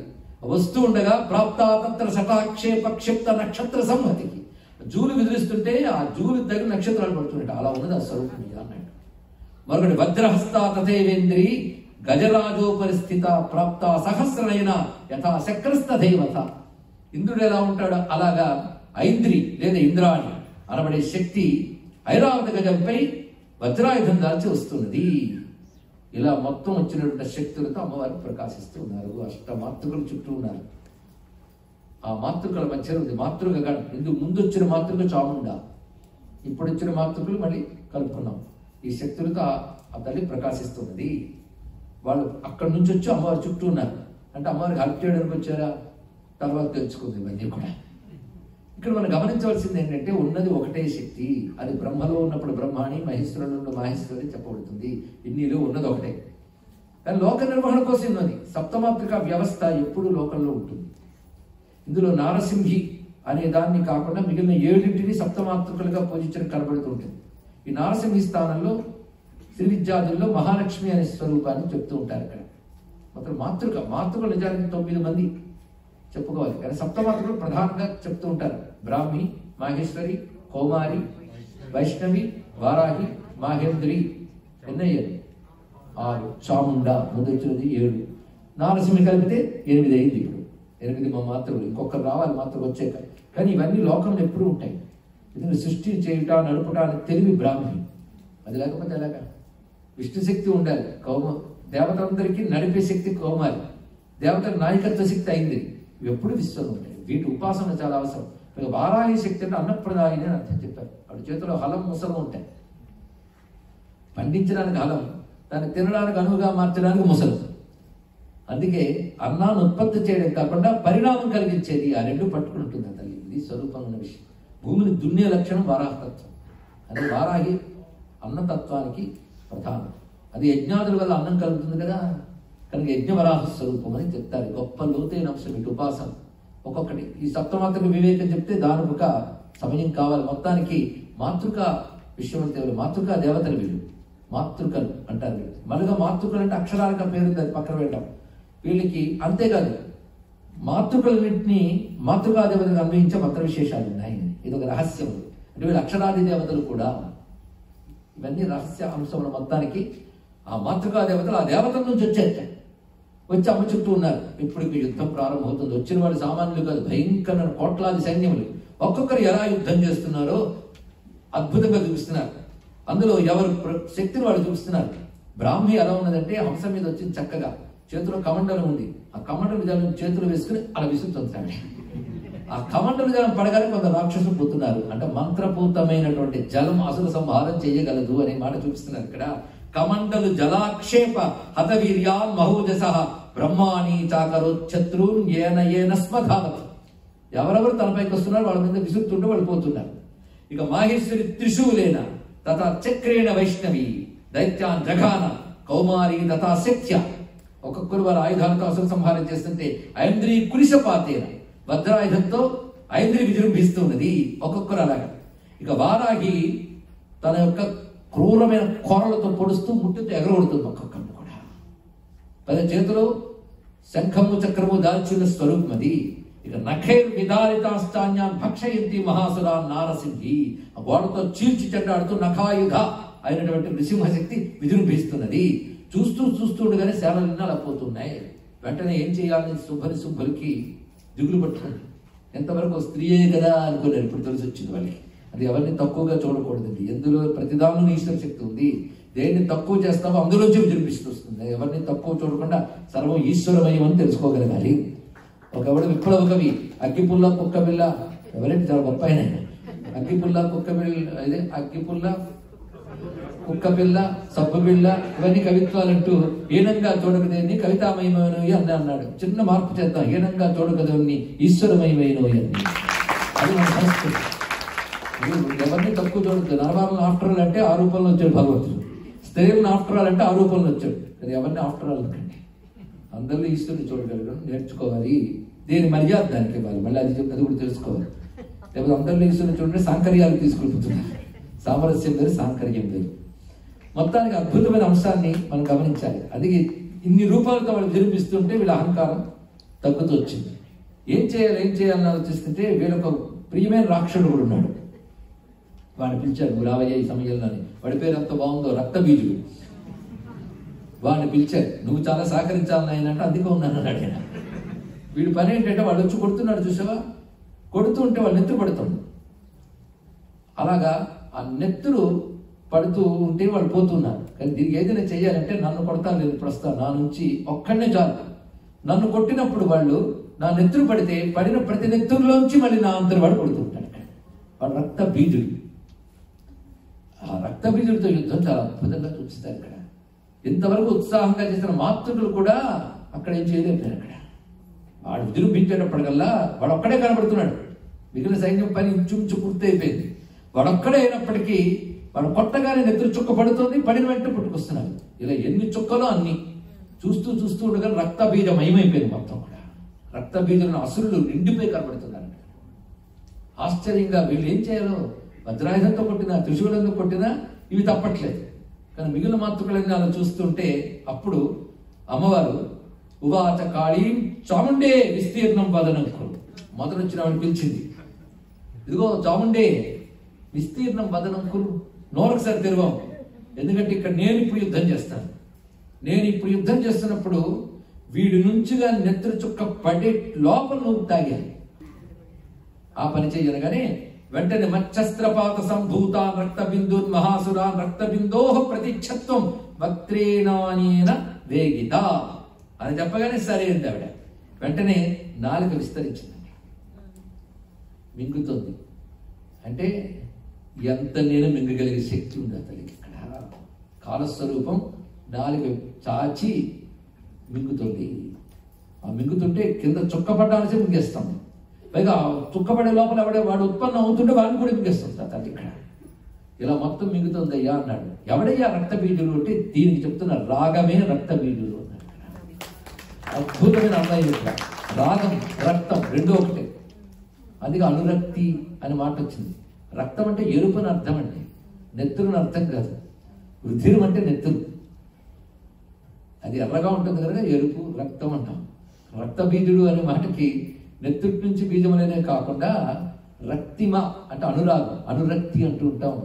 రాగము రక్తి రెండు ఒకటే అర్థం.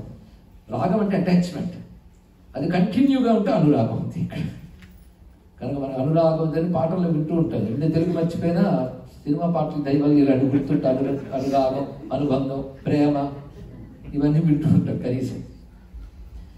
దాని రంగు ఏమిటి? ఎరుపు. అందుకే సంధ్యారాగం అంటూ ఉంటాం. కనుక రాగమే రక్త బీజుడు అన్నారు. రాగం అంటే అటాచ్మెంట్ ఒక దానితో అటాచ్మెంట్ ఎలాంటిదంటే ఎంత కొడుతున్నా వస్తూనే ఉంటుంది. అదే బాధాకరమైన అంశం వస్తుందంటే పోయిన దానికంటే ఎక్కువ వస్తుండేది ఇప్పుడు బాధాకరమైనది కానీ రాగమేగా ఇన్ని జన్మలకి హేతు అవుతుంది. ఈ రాగం కదా ఎందరిని పెంచుతోంది నీకు? ఒకరితో రాగం ఎందరిని ఇస్తున్నదో వారితో రాగం మరి ఎందరిని ఇస్తున్నదో? ఈ రాగంతోనే ప్రపంచమంతా నడుస్తున్నది.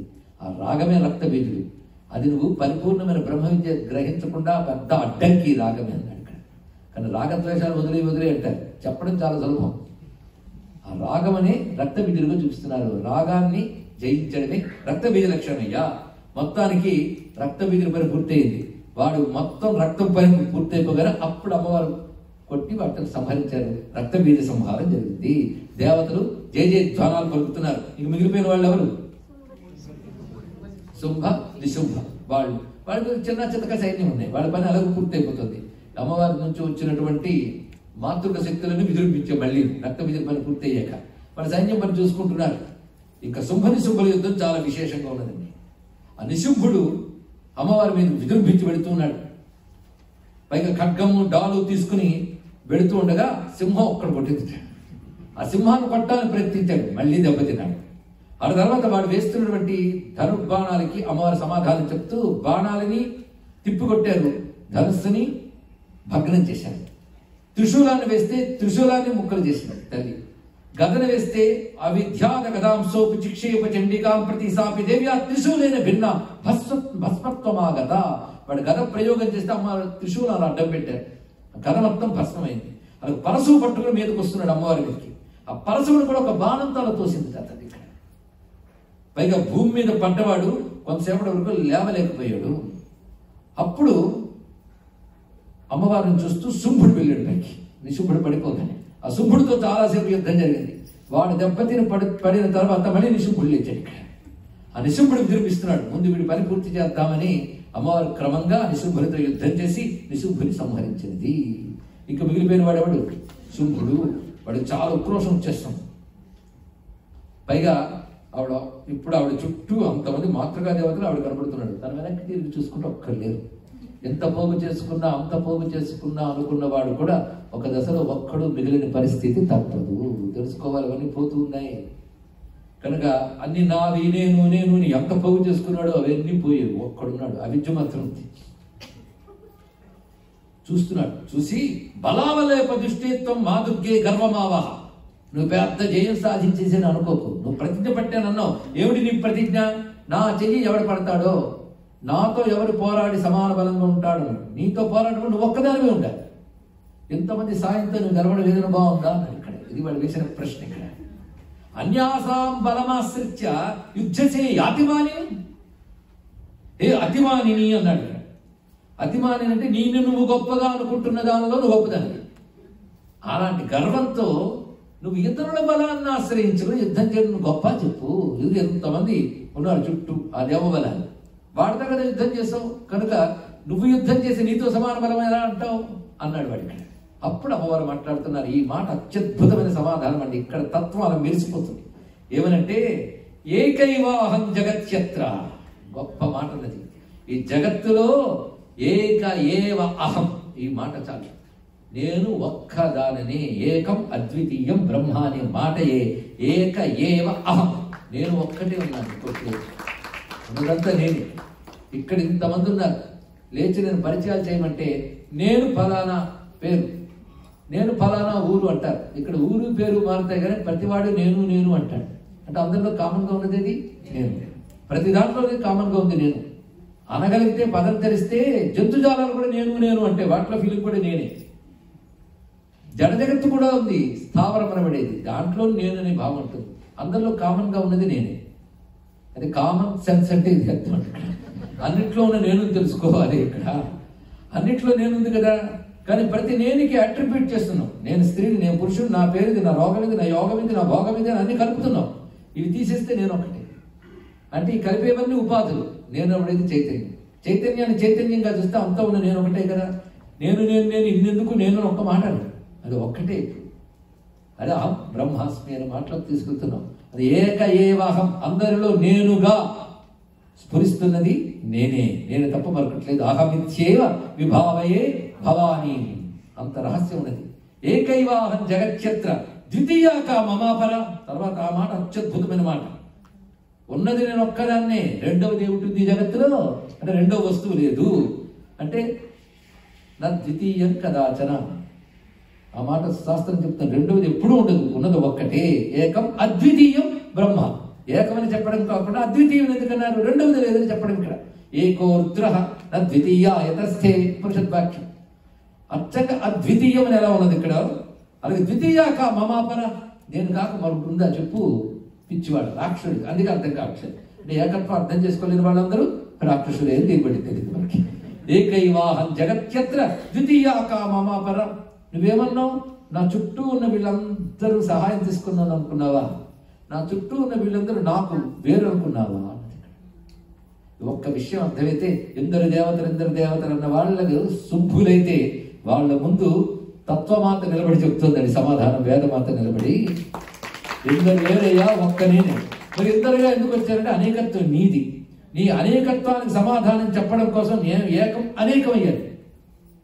అనేకం ఏకమని ఇప్పుడు చూపిస్తాను చూడు అన్నది. పశ్చేత దుష్ట మయ్యేవ విసంత్యో మద్విభూతయ అది రహస్యం. ఇన్ని రకాల శక్తులు దేవతలు నా విభూతులు ఉన్నది ఒకటే పరమాత్మ శక్తి. ఆ శక్తి యొక్క విభూతులే ఈ దేవతలందరూ. కనుక బ్రహ్మ విష్ణు రుద్ర ఇంద్ర కుమార వరాహ నృసింహ అని ఇన్ని దేవతలు ఉన్నారే వీళ్ళందరూ మద్విభూతయ ఇవి నా విభూతులు ఈ శ్లోకం అత్యంత కీలకమైనది. ఏకైవాహం జగత్యత్ర ద్వితీయాకా మమాపర పశ్చేత దుష్ట. మయ్యేవ విసంత్యో మద్విభూతయ చూస్తూ నువ్వేమి జరుగుతాయో. అని అమ్మవారు అన్నారా లేదో అక్కడున్న మాతృకా దేవతలు అందరూ అమ్మవారికి వచ్చారు అక్కడ ముందు ఒక దేవత వచ్చింది. మాతృని చెప్పకపోతే తప్పు. ఆవిడ ఇప్పటికైనా బుద్ధి తెచ్చుకుంటాడేమో చెప్పాలి అనుకుని అమ్మవారు తన శరీరం సంకల్ప మాత్రం చేత తన శరీరం నుంచి ఒకటి సృజించాడు ఆవిడ వచ్చేటప్పుడు భయంకరమైన శబ్దాలు చేస్తూ ఆవిడతో పాటు సేనలు కూడా ఉన్నాయి. ఆవిడ పేరు శివదూతి.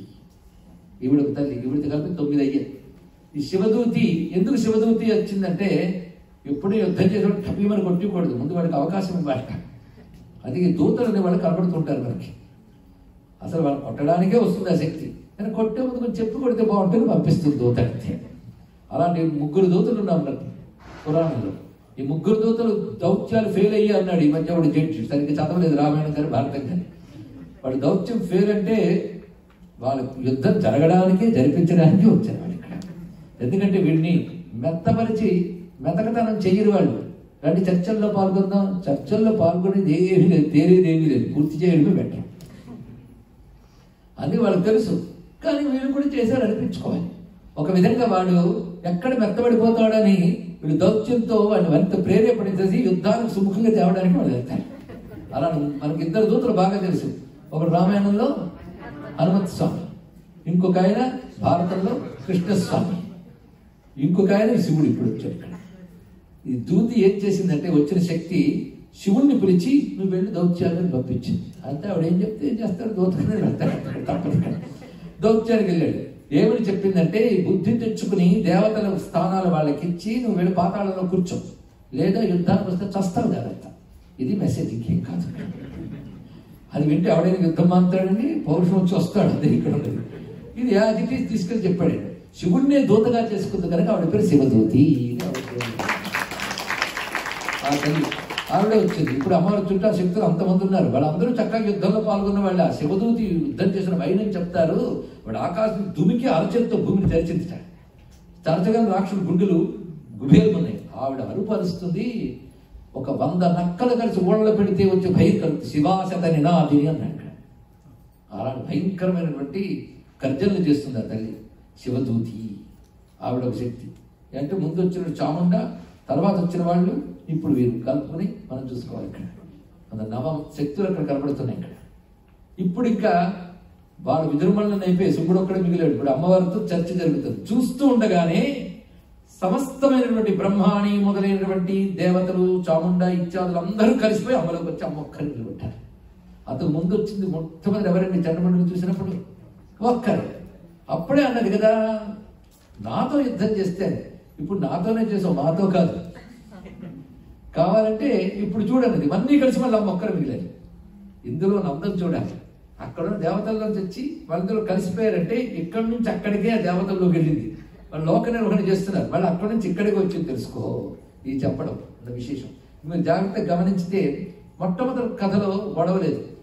విష్ణువు నుంచి యోగ నిద్ర చూసాం రెండవ దాంట్లో ఒక్కొక్క దేవతల నుంచి ఒక్కొక్క శక్తి వచ్చి ఏకీకృతమే కనబడతాం.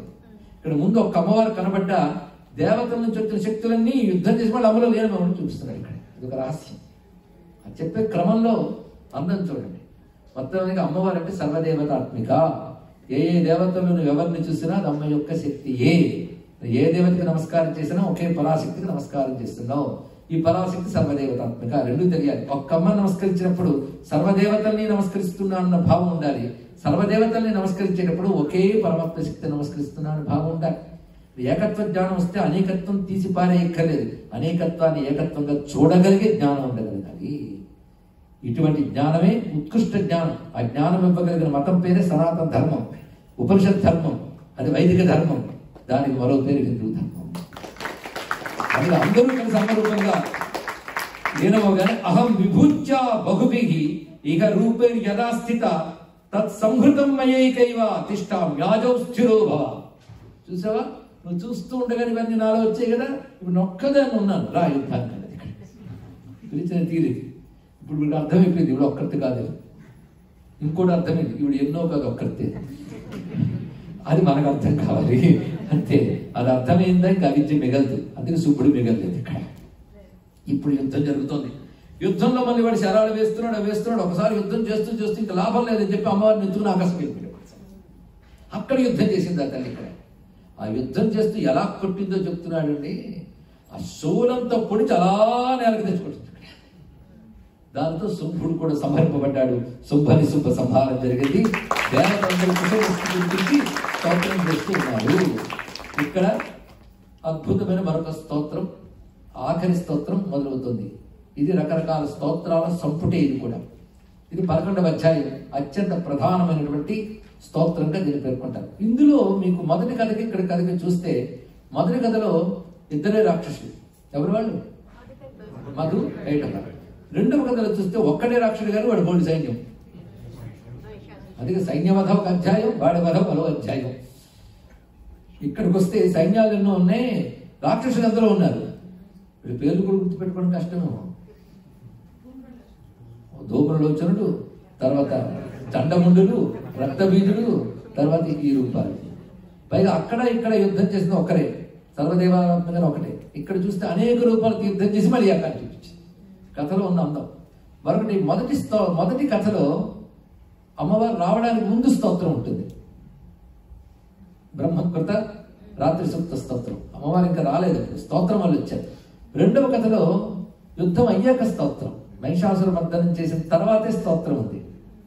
ఈ కథలో అమ్మవారు రావడానికి ముందు స్తోత్రం అయిన తర్వాత స్తోత్రం రెండు వైపులు ఉంది. దీనికి ఏదో ప్రత్యేకత ఉంది. ఇవన్నీ గమనించుకోవాల్సిన అందములే అదే యాదేవి సర్వభూతేషు అని అమ్మవారిని ప్రార్థించారు మొదట. తిరిగి వచ్చే పని చేసిన తర్వాత మళ్ళీ. అంటే భక్తి ప్రార్థన ఎలా ఉండాలంటే ఇది నెరవేర్చమ్మా అని ఉండాలి. నెరవేరిపోయాక అది ఎప్పుడు గుర్తుండాలి. అది అది ముందు వెనక కూడా ఉండాలి స్తోత్రం ఇక్కడ. అది ముందు తెలుసుకోవడానికి స్తోత్రం తర్వాత తెలిసి స్తోత్రం. తెలుసుకోవడానికి చేసే స్తోత్రంలో నువ్వు జిజ్ఞాసతో గ్రహించినవన్నీ ఉంటాయి. తెలుసుకున్న తర్వాత చేసిన స్తోత్రంలో జ్ఞాన రూపమైన అనుభూతి ఉంటుంది. ఇక్కడ అందుకే ఇది అసలు సంహారం చేసి నిలబడ్డ ఏక అయినటువంటి తల్లిని దేవతలందరూ స్తుతించారు కుసుముష్టి కురిపించారు వివిధములైన అర్చనలు ఇవి చేసి స్తోత్రం చేస్తున్నారు. దేవ్యాహతే తత్ర మహాసురేంద్రే సేంద్రాసురావన్ని పురోగమాస్తాం కాచాయనీ తుష్టు వరిష్ట లాభాహ వికాసి వక్త్రాబ్జ వికాసితాసాహ కాచాయని అందుకే దీనికి కాచాయని సూక్తం అని కూడా పేరు ఉన్నదండి ఇక్కడ దివ్యమైనటువంటిది ఇంకో పేరు నారాయణి సూక్తం. ఇందులో నారాయణ మోస్తుతే మరొకటి సప్తశ్లోకి నవశ్లోకి ఇత్యాదులు చదివే వాటిలో ఇందులో శ్లోకాలు ఎక్కువ ఉంటాయి. పై మొదటి రెండు మాత్రమే ప్రథమోధ్యాయం తర్వాత నాలుగవ అధ్యాయం నుంచి వచ్చింది మిగిలిన శ్లోకములన్నీ ఇందులోవే. అంటే ఈ స్తోత్రం అత్యంత మహిమాన్వితంగా గోచరిస్తుంది ఇప్పుడు చెప్పిన కథంతా మననం చేసుకోవచ్చు ఒక స్తోత్రంలో దేవి ప్రపన్నార్తి హరే ప్రసీద ప్రసీద మాతర్జగతోఖిలస్య ప్రసీద విశ్వేశ్వరి పాహి విశ్వం త్వమీశ్వరీ దేవి చరాచరస్య. ఎంత చక్కగా అడుగుతున్నారు. ప్రపన్నుల ఆర్తిని పోగొట్టే తల్లి దుర్గ అంటేనే శరణాగత దీనార్థ పరిత్రాణ పదాయనే శరణు వేడిన వారిని రక్షించే శక్తి దుర్గా. కనుక దుర్గా శబ్దానికి అర్థం ఏంటంటే ఆశ్రయ శక్తి. ఇది ప్రధానమైన అర్థం. ఆ తర్వాత చూస్తాం మనం. అలాగే ఏవైతే నువ్వు దుహు అనుకుంటావో వాటన్నిటినీ సాధ్యం చేస్తుంది. దుహు అంటే ఇంపాసిబుల్ కష్టం. ఇది అర్థం ఉంది ఇక్కడ. దుహుతో ఎన్ని శబ్దాలు ఉన్నాయో మీకు తెలిసినవి చెప్పండి. దుఃఖం ఫస్ట్ వస్తుంది. దుర్మార్గం దుష్టత్వం దురాచారం దుస్సాధ్యం దుర్లభం దురితం. చాలా ఇందులో ఏది బాగుంది. లేదు బాగాలేదు. కానీ వస్తూనే ఉండే బతుకులు అది వచ్చింది కొన్ని హైలీ ఇంపాసిబుల్ దుస్సాధ్యం. అది దొరకడం మహా కష్టం దుర్లభం. అమ్మో ఇది చేస్తే మహా కష్టం దురితం. ఇలాంటివన్నీ మనలో ఉంటాయి మన చుట్టూ ఉంటాయి. ఈ దుహు అన్నిటినీ ఒక్క దెబ్బతో తీసి పారేసే శక్తి దుర్గా అన్నారు ఇక్కడ. దుర్గత్వాన్ని దుఃఖాన్ని దుర్మార్గాన్ని దురాకారాన్ని దురితాన్ని దుర్లభాన్ని తొలగించే తల్లి దుర్గా. అంటారు కానీ ఆవిడే పెద్ద దుర్లభం అండి అన్నాడు ఇక్కడ. దుర్లభం అంటే అంత తేలిగ్గా దొరకదు అన్నాడు ఇక్కడ. అంత తేలిగ్గా దొరుకుతుందని భగవత్ కృప దొరకడం అంటే భగవద్ అనుగ్రహం దొరకడం అంత తేలిక కాదు. దానికి ఎంత సాధన చేయాలి? సాధన చేస్తే సులభం. సాధన సులభం కాదు. ఎందుకంటే ఇంద్రియాలను గ్రహించాలి. మనస్సును అంతర్ముఖం చేయాలి. ఎంత కష్టం అది? చెప్పిన తేలిక అండి. దానికంటే బయట అప్పో సొప్పో చేసి వస్తువులు కూడా దేవుడికి ఇచ్చిన బెటర్. కానీ ఇంద్రియాలను గ్రహించుకోవడం మనసు అంతర్ముఖం చేయడం అంత తేలిక. కానీ రెండు చేస్తే కానీ భగవంతుడు దొరకడు. లేనిదే ప్రథమ సాధనలో శమము దమము అని చెప్తున్నారు. అంతరింద్రియం బహిరింద్రియం నిగ్రహించుకోవాలి. నిగ్రహం దుహు కష్టమే. అలా చేస్తే దొరుకుతుంది. దుర్లభ అన్నారు కానీ అలభ అనలేదుగా అంటే అసలు దొరకదు అనలేదు. కష్టపడితే దొరుకుతుంది అన్నారు. కానీ కష్టపడు. ఎందుకంటే సులభంగా దొరికేవి సులభంగా పోతాయి. అని ఒక డిగ్రీ తెచ్చుకోవడం కోసం జీవితంలో సుమారు ముప్పై ఏళ్ళు ఖర్చు పెట్టాం. పోలేదు అల్టిమేటా కాదు దానితో మరింత తెచ్చుకోవడానికి బతుకంతా తాపాలి శాశ్వతంగా ఒక దానికోసమే జీవితంలో అంత భాగం కోల్పోయేవే. శాశ్వతమైన సౌఖ్యం కోసం ఎంత కష్టపడాలి? అందుకే కష్టపడితే కానీ దొరకదు కదా దుర్లభ. అంత తేలిక అంతుపట్టదు కూడా. నేను అమ్మవారి తత్వం చెప్పేసి నేను మురిసిపోయినా మీరు మురిసిపోయినా ఇద్దరం పొరపాటు పట్టాను ఎందుకంటే ఆ తత్వం ఎంతైనా శ్రద్ధ కోసం చెప్పుకోవడమే ఒక అనుభూతి కోసం చెప్పుకోవడానికి పూర్ణంగా అర్థం కాదు. ఎతో నివర్తంతే అప్రాప్య మనసాస మనసు మాట కూడా తెలుసుకోలేదు. అంతు పట్టనిది అంతు పట్టని దాన్ని దుర్గమము అంటారు. ఏది దుర్గమమో? ఏది దుర్లభమో? దానికి దుర్గా అని పేరు. ఇప్పుడు రెండవ అర్థం చెప్పుకున్నాం. దుర్ అందుకే దుర్లభ దుర్గమ దుర్గా. అంతుపట్టని దాన్ని ఆశ్రయించడం ఎందుకండి అంటే దుఃఖహంత్రి సుఖప్రద అందుకోసం. దుఃఖాన్ని పోగొడుతుంది సుఖాన్ని ఇస్తుంది కనుక అన్నాడు. ఇక్కడ దుర్లభ దుర్గమ రెండింటికి అర్థం దుర్గ. అవి ఆశ్రయిస్తే లభించే దుఃఖహంత్రి సుఖ సుఖప్రద. ఎంత చక్కగా అమర్చారండి వాక్యాలు. వసంజాది వాగ్దేవతలు లలితా సహస్రనామాల్లో. దుర్లభ దుర్గమ. అంటే బ్రహ్మతత్వము దుర్లభమైనది దుర్గమమైనది. అది ఆవిడ బ్రహ్మస్వరూపిణి. అదొక అర్థం. దుహు అని చెప్పబడుతున్న దుఃఖాలను తొలగిస్తోంది కనుక దుర్గ. అంతేకాదు దుర్గము అంటే రక్షణ స్థానం కోట. అందులో హాయిగా రాజు పడుకుంటాడు. అందుకని అడవులో రాజు పడుకుంటే ప్రాణభయం. కోటలో హాయిగా పడుకోగలడు. ఎందుకంటే ఫుల్ సెక్యూర్ సేఫ్టీ అన్నీ ఉన్నాయి.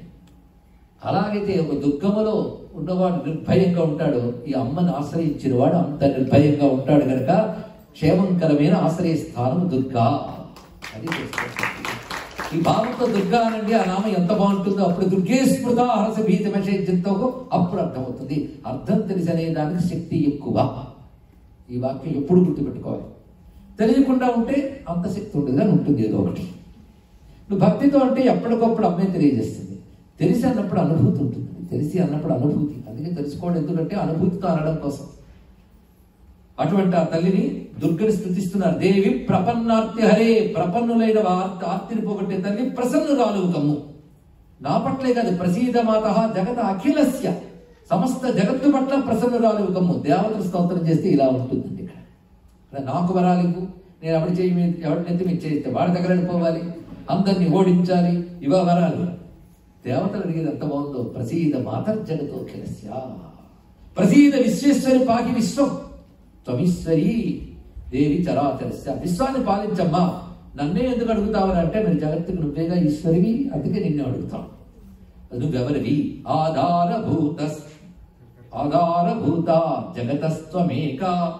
మహేశ్వరూపేణ యతస్థితాసి అపాం స్వరూప స్థితయా త్వయేతదాప్యాయతే కృష్ణం అలంఘ్య వీర్యే. ఆధారభూత సర్వజగత్తికి ఆధారమై భూమిగా నువ్వే ఉన్నావు. ఈ భూమిని తడిపి ఫలవంతంగా జగత్తును పోషించడానికి జలముగా నువ్వే దీన్ని ఆప్యాయనం చేస్తున్నావు తడుపుతున్నావు ఎంత గొప్ప భావం కదా. ఆవిడ సాక్షాత్ కొండెల్లి శక్తి అండి. ఆధారభూత అంటే మూలాధారం. అపాంస రూపస్థితయా త్వయేతదాప్యాయతే అంటే సహస్రార స్థానంలో అమృత రస ప్రవాహంగా ఉంటూ కృష్ణం ఆప్యాయతే మొత్తం నువ్వు తడుపుతున్నావు ప్రపంచం సించంతి పునరపి రసామునాయ మహసహ. అది దీని అర్థం. ఆధారభూతమైనటువంటి మూలాధార స్థానంలో ఉంటూ సహస్రారం వరకు కుండలిగా ఉంటూ సహస్రారాంతర్గతమైన అమృత ధారలతో డెబ్బై రెండు వేల నాడుల్ని యోగిలో తడుపుతున్న అనుభూతిగా ఉన్నదాను నువ్వే అని దీని యొక్క రెండవ అర్థం. కుండలి పరమైనటువంటి అర్థం ఇక్కడ. త్వం వైష్ణవీ శక్తి నువ్వు వైష్ణవీ శక్తి అంటే సర్వవ్యాపకమైన శక్తి నువ్వు. అనంత వీర్యా. విశ్వస్య బీజం పరమాసి మాయా. విశ్వమంతా తనలో దాచుకున్న మాయవు నువ్వు. అది విశ్వానికి బీజం. అనంత వీర్య అనంతమైన శక్తి కలదా నువ్వు ఈ జగత్తులో నువ్వే అంతా ఉంటూ నిన్ను నువ్వు తెలియకుండా చేస్తున్నావంటే అది నువ్వు చేసిన మోహరూపమైన మాయమ్మ. సమ్మోహితం దేవి సమస్తమే తత్వం వై ప్రసన్న భూముక్తి హేతు. అయితే నువ్వు ప్రసన్నురాలవైతే మాత్రం అంతా నేనేరా అనే జ్ఞానాన్ని ఇచ్చి నువ్వు ప్రసన్నమైతే ముక్తి హేతువు భూత. ముక్తికి హేతుభూతం అవుతావు తల్లి నువ్వు. విద్యలన్నీ నిన్నే తెలియజేస్తున్న విద్యాహ సమస్తాహ తవ దేవి భేదాహ. పరాపర విద్యలన్నీ నిరూపమే. అమ్మవారంటే విద్యాస్వరూపిణి. విద్యలు రెండు పరా అపర. లోకంలో చెప్పే ప్రతిదీ అపరా విద్యలు. పరమాత్మ గురించి తెలియజేసేది పరా విద్య. లోకం అంటే పై లోకాల గురించి చెప్పేది కూడా అవిద్యే. అది పరా విద్య అని అపరా విద్య అని దాన్ని కూడా అన్నారు యజ్ఞాలు కూడా అపరా విద్య కిందకే చెప్పారండి. ఈ లోకం కాబట్టి మరొక లోకం. లోకాతీతమైన గుణాతీతమైన సర్వాతీతమైన తత్వాన్ని తెలియజేసేది పరావిద్య ఈ రెండు విద్యలు కావాలి వ్యవహారానికి. వ్యవహారానికి అపరావిద్యను పరమార్థానికి పరావిద్య. ఆ రెండు రూపాలతో ఉన్న విద్యా సమస్తా తవ దేవి భేదా. అలాగే జగత్తులో ఉన్న స్త్రీలందరూ నీ మూర్తులే. స్త్రియ సమస్తా సకలా జగత్సు. హిస్టరీ మీరు వెతికితే స్త్రీకి పూజ్య స్థానం ప్రాచీన కాలంలో ఇచ్చిన దేశం భారతదేశం ఇచ్చిన మతం హిందూ మతం. అదే స్త్రీకి గౌరవం ఇచ్చిన మతాల్లో హిందూ మతం తర్వాతనే మీరు ఏదైనా చెప్పవచ్చు. ఇక మధ్య మధ్య కాలంలో మనుషుల యొక్క దుర్మార్గం వల్ల దౌర్జన్యాలు వచ్చేయేమో కానీ శాస్త్రంలో ఎక్కడా లేదు. అదే స్వామి వివేకానంద చెప్తాడు స్త్రీని మాతృమూర్తిగా ఉపాసించే దేశం భారతదేశం. అది మా గొప్పతనం. నాగరికులము అని చెప్తూ హిందూ మతం మీద బురద జల్లే మీరు మీరు అంటే వివేకానంద చెప్పిన మాట చెప్తున్నాను. ఈ దేశం వచ్చిన కొన్నాళ్ళకి వ్యవస్థ ఏర్పరచుకునేటప్పుడు కొన్ని సంవత్సరాల వరకు స్త్రీలకు ఓటు హక్కు కూడా ఇవ్వలేదు. దాన్ని బట్టి మీకున్న గౌరవం ఏంటో తెలుసుకోండి. ఏం తెలియజేశాడు మహానుభావుడు చరిత్ర వెతకాలి ఎందుకంటే స్త్రీలకు ఎలాంటి ప్రాధాన్యం? ఋషికలుగా రాజ్యాలను రాణులుగా మార్కండి పురాణంలో కనబడుతుంది రహస్యం. అది చెప్పాలని పెద్ద ఉపన్యాసం. అంతేకాదు స్త్రీని ఏడిపిస్తే వాడు పుట్టగతులు ఉండవు అనేది మన శాస్త్రంలోనే చెప్తున్నాయి. కానీ స్త్రీ ప్రతి స్థానంలో గౌరవనీయురాలి. బాల మొదలుకొని సువాసినిలుగా కాకుండా పూర్వ సువాసిని రూపాలుగా ఎవరి మర్యాదలతో వాళ్ళు గౌరవించాలి తప్ప ఏ ఒక్కరిని అవమానించరాదు. స్త్రీని అవమానిస్తే బ్రతుకులు బాగుపడమని చెప్పడానికి రెండు మహాకవ్యాలు పుట్టాయి ఒకటి రామాయణం ఒకటి మహాభారతం. నిండు కొలువులో స్త్రీని అవమానించినందుకు సమూల నాశనం అయిపోయారు వాళ్ళు చెరబట్టి తెచ్చినందుకు సమూల నాశనం అయ్యాడు వాడు స్త్రీకి ఇచ్చే గౌరవం అది. ఎందుకంటే అమ్మవారు సర్వవ్యాపిని అయినప్పటికీ స్త్రీల నుంచి వ్యక్తమవుతుంటుంది ఆ తల్లి యొక్క చైతన్యము అన్నారు ఇక్కడ. అదే శివుడు అర్ధనారీశ్వరుడు కనబడగానే బ్రహ్మదేవుడు అంటాడు పురుష సృష్టి చేసే శక్తి నాకు ఇచ్చే కానీ స్త్రీలు సృష్టించే శక్తి నాకు లేదయ్యా అంటే నువ్వు ఊరుకో ఈవిడు చూసుకుంటుందని ఎడమవైపు చూపించట. అప్పుడు సమస్త స్త్రీ జాతి అమ్మ సృజించింది అంటే అర్థం స్త్రీ శరీర ప్రకృతి అమ్మవారి యొక్క శక్తి. జీవుడు ఒకప్పుడు స్త్రీ కావచ్చు ఒకడు పురుషుడు కావచ్చు. శరీరంలో స్త్రీ రూప ప్రకృతిలో అమ్మవారి యొక్క శక్తి కనబడుతుంది. అందుకే విగ్రహంలో చక్రంలో కలశంలో ఎంత ఆరాధిస్తావో ప్రత్యక్షంగా అంత ఆరాధించాలి అని చెప్తూ మనకి అమ్మవారి అర్చన ప్రత్యక్ష స్త్రీమూర్తులకు చేయడం కూడా మనం చూస్తుంటాం.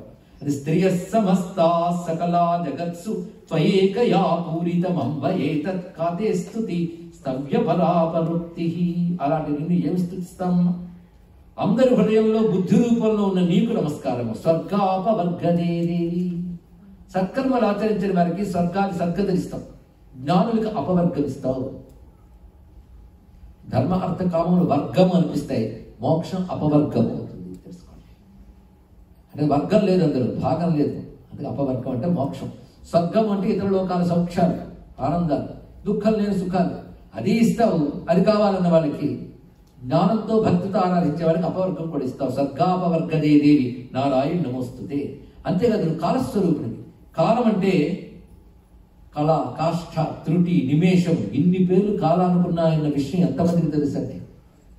ఒక్కొక్క కాలంలో ఒక్కొక్క భాగానికి లెక్క మెజర్మెంట్స్ టైం మెజర్మెంట్స్ ఎలా చెప్తాడు మైన్యూట్ కాలం నుంచి కల్పకాలం వరకు మహాకాల విజ్ఞానం మనం చూపిస్తున్నారు. అది కళా కాష్టాది రూపేణ పరిణామ ప్రదాయని విశ్వస్యోపరతో శక్తే నారాయణి నమోస్తుతే.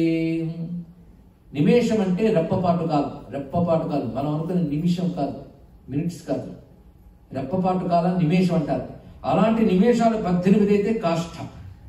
అలాంటి ముప్పై అయితే కళ.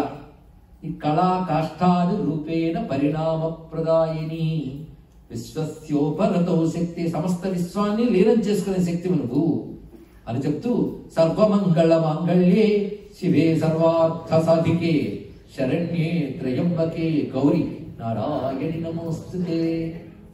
ఒక్కొక్కటి ఒక్కొక్క అమృత ఫలం అంటే ఒక్కొక్క శ్లోకం. ఏది పట్టుకుని జపం చేసినా తరించిపోతాం. సర్వ మంగళములకు మాంగళ్యం.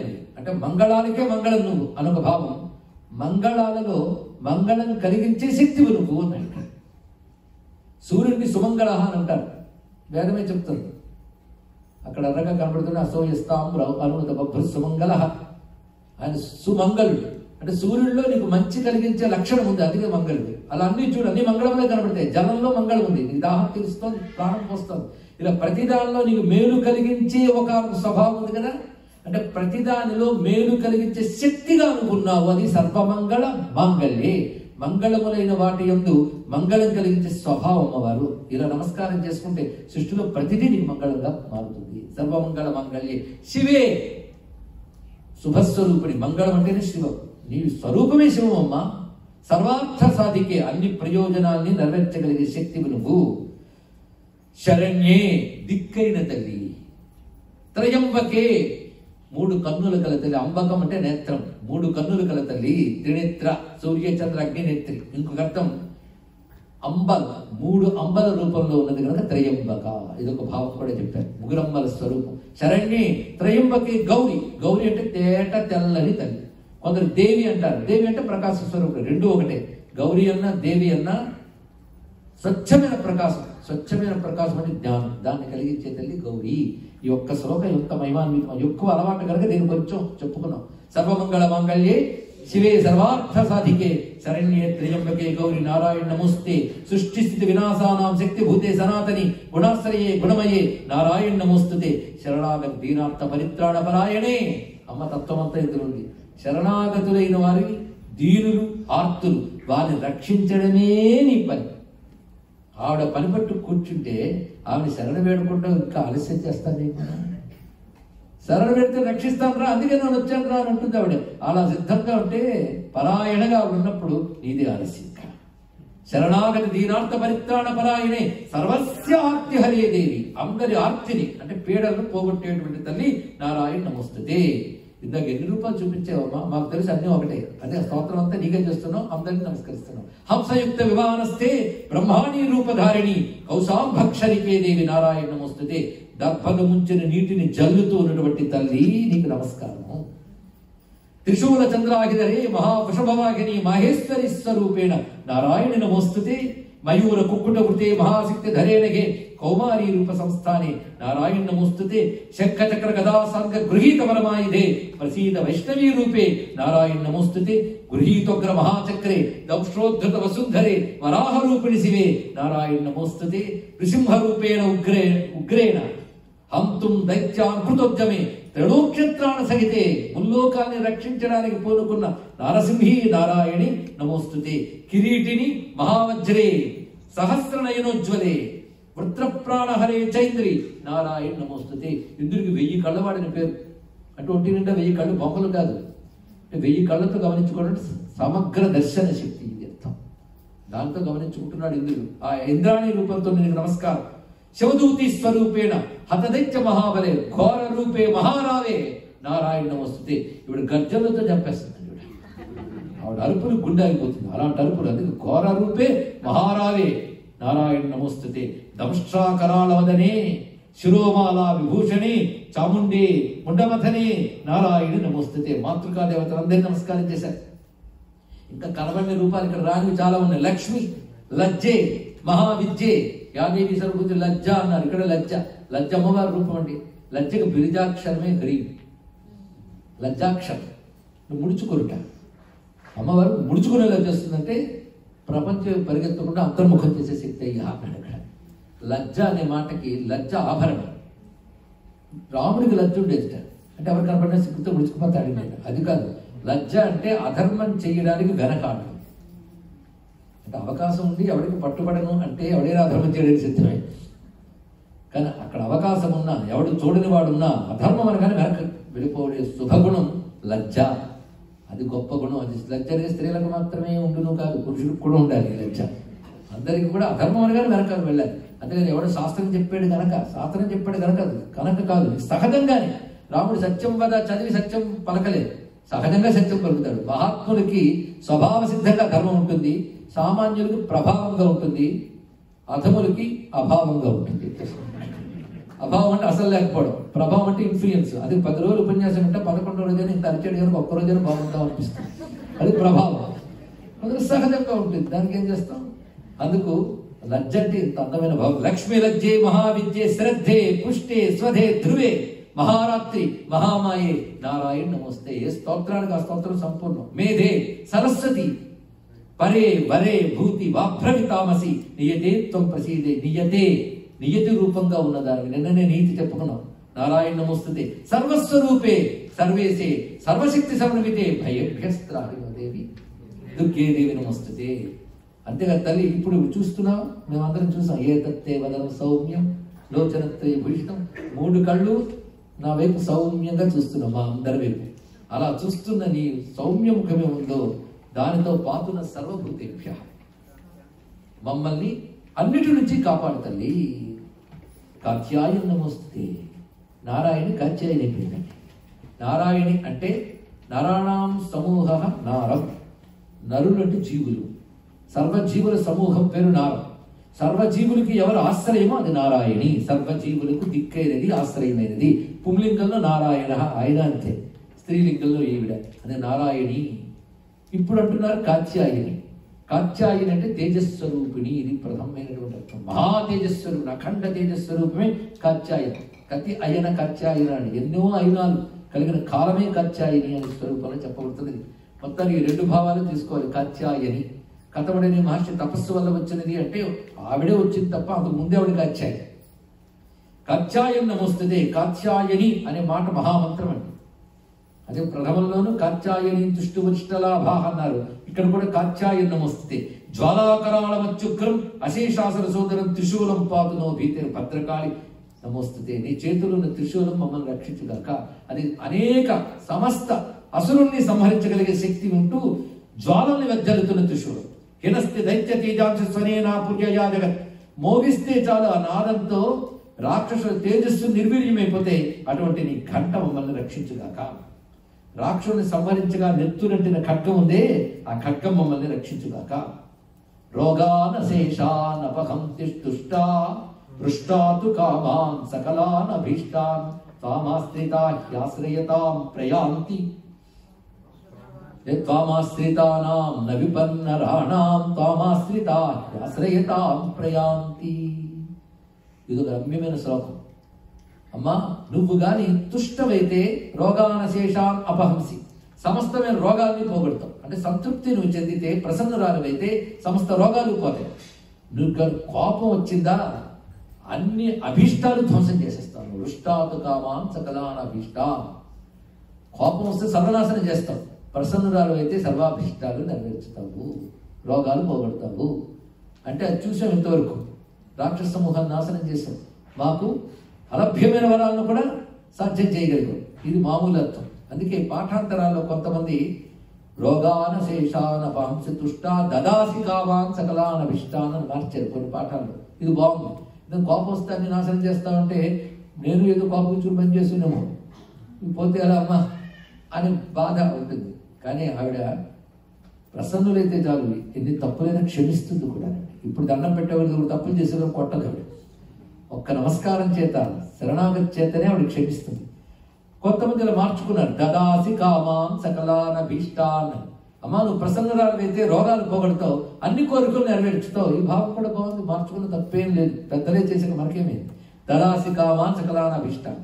చివరి రెండు వాక్యాలు గొప్పది తామాశ్రితాన న విపన్నరానా నిన్ను ఆశ్రయించే నరులకి విపత్తులనే ఉండవు పెద్ద స్టేట్మెంట్ ఇంకోటి ఉంది తెలుసా? నిన్ను ఆశ్రయించిన వారికి విపత్తులు ఉండవు. నిన్ను ఎవరు ఆశ్రయించారో వారు ఇతరులకు కూడా ఆశ్రయం ఇవ్వగలిగిన శక్తివంతులు అవుతారు. అది గొప్ప అమ్మనేటువంటి అది అమ్మనే భక్తిగా ఉపాసించినటువంటి సిద్ధుడు ఎంతమందిని అనుగ్రహించగలడు? అలాంటి వాడిని ఆశ్రయిస్తే చాలు బాగుడు బాగుపడిపోతాం మనందరం వెళ్ళి జగద్గురువు నమస్కారం చేస్తున్నాం. వారు చూపుతో మన బ్రతుకులు బాగు పడుతున్నాయంటే వారేం చేశారు అంటే జగన్మాత ఆశ్రయించారు ఇక్కడ. అందుకే లోకేశ్వరి పాదాలు పట్టుకుని ఆవిడనే చింతన చేస్తూ వాళ్ళు ఉంటే వాళ్ళ పాదాలు పట్టుకుని బాగు మనం బాగుపడిపోతున్నాం అయ్యా అంటే ఇది ఎలాంటిదంటే ఒక మ్యాగ్నెట్కు ఇనప ముక్క తగులుతుంది. ఆ ఇనప ముక్క తగిలినటువంటి మినప ముక్కలన్నీ కూడా క్షేమంగా ఉంటాయి కదా వెళ్ళి. అంటే మిగిలిన వాటిని కూడా ఒక దగ్గరికి తెచ్చగలిగే అయస్కాంత శక్తి ఆ ఇనప్పొక్కకి దేని వల్ల వచ్చింది? ఆ ఇనప్పొక్క అయస్కాంతం తగిలింది. అలాగే అమ్మ నిన్ను ఆశ్రయించిన వారు ఇతరులకు ఆశ్రయం ఇవ్వగలిగినటువంటి సమర్థులు అవుతారు తల్లి అన్నారు. అందుకే అమ్మను ఆశ్రయించిన వారి వల్ల లోకానికి క్షేమం కలుగుతుంది. అది అందరు అమ్మ భక్తులైతే లోకం అంత క్షేమంగా ఉంటుందండి. అంత చక్కని మాట త్వామాశ్రితాను మొత్తానికి అమ్మవారి ఆశ్రయ శక్తి అనే మాట ఇక్కడ దృఢపరిచారు. ఇవాళ నువ్వు చేసినటువంటి యుద్ధం అన్నదే అబ్బా అద్భుతం తల్లి. ఎన్నో రూపాలతో చేసావు. అసలు విద్యల్లో శాస్త్రాల్లో నీ గురించి తప్ప ఏమని చెప్పారు? అలాంటి నువ్వు మమత్వ గత్తేటి మహాంధకారే విభ్రామయత్యేతదీవ విశ్వం. మమత్వం అనే సుడిగుండంలో ప్రపంచాన్ని నువ్వే మోహరూపులుగా నడుపుతూ ఉంటావు. ఆ నువ్వే రక్షిస్తావు. విశ్వేశ్వరి లోకాన్ని రక్షించమ్మా అని ప్రార్థన పూర్తి చేశారు. అప్పుడు తల్లనిది నేను మీకు వరమిస్తాను ఏదైనా కోరుకోండి. అని ఎంత నెరవేర్చి. వరదా ఏదైనా కోరుకోండి. ఎన్ మన ఎన్ మనసేచ్ఛదా తమృణుధ్వం పరీక్ష. ఇస్తాను అయితే కండిషన్ జగతాముపకారకం వరం. జగత్తుకు ఉపకరణం చేసే వరమైతే తీరుస్తాను కండిషన్ ఏంటి? ఏదైనా కోరుకోండి నాకు జగత్తుకు ఉపకారం కలిగించేది కోరుకోండి.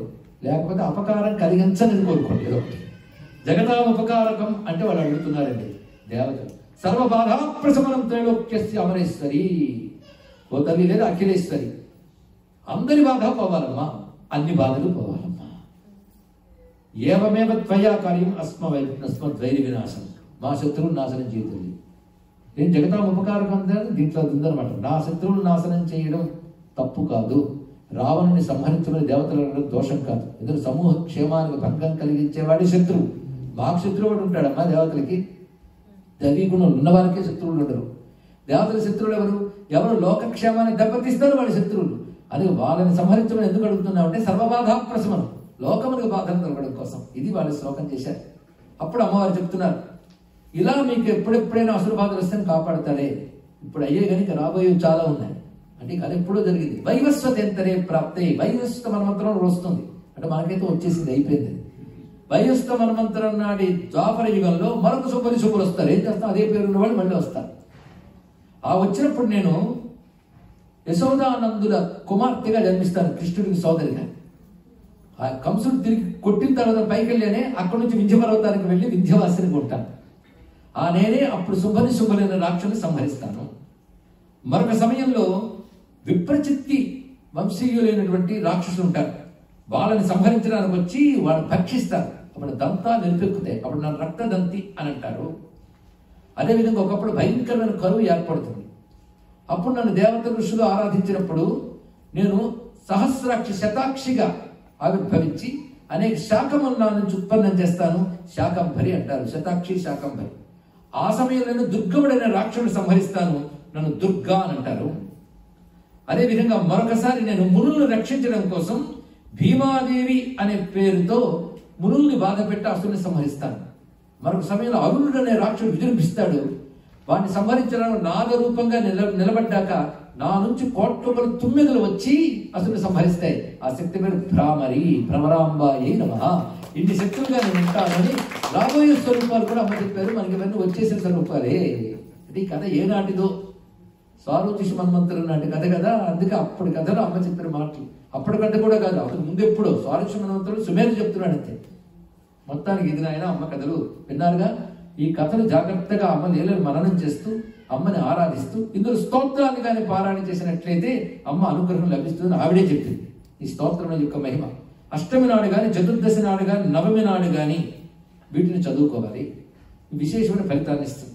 అదేవిధంగా ఏడాదికి ఒక్కసారి చేసేటువంటి శరన్నవరాత్రోత్సవాల్లో శరత్కాలే మహాపూజ క్రియతే యాచవార్షి. ఆ సమయంలో కూడా పాలన చేయాలి. ఇది తెలిసినా తెలియకపోయినా పారాయణ చేస్తే తప్పకుండా నా అనుగ్రహం లభిస్తుంది. వీటిని హోమాలుగా కూడా చేసి ఆరాధిస్తారు. ఇవన్నీ అమ్మవారే చెప్పిన విధానాన్ని అంతటి పన్నెండు అధ్యాయంలో. అని చెప్తున్నాడు ఎవరు?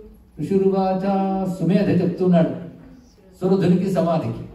వాళ్ళు ఉభయులు అది విని అమ్మవారిని మూడు సంవత్సరాలు ఉపాసన చేశారు. ముగ్గురు. ఇద్దరు కలిసి. అమ్మవారు ప్రత్యక్షమే. ఏం కావాలని అడిగారు? ఇక్కడ ఉంది అసలు మజా. అమ్మా నాకు పోయిన రాజ్యం అంతా కావాలి అని అడిగారు. నాయన బహుకాలం నువ్వు రాజ్యపాలన చేస్తావు.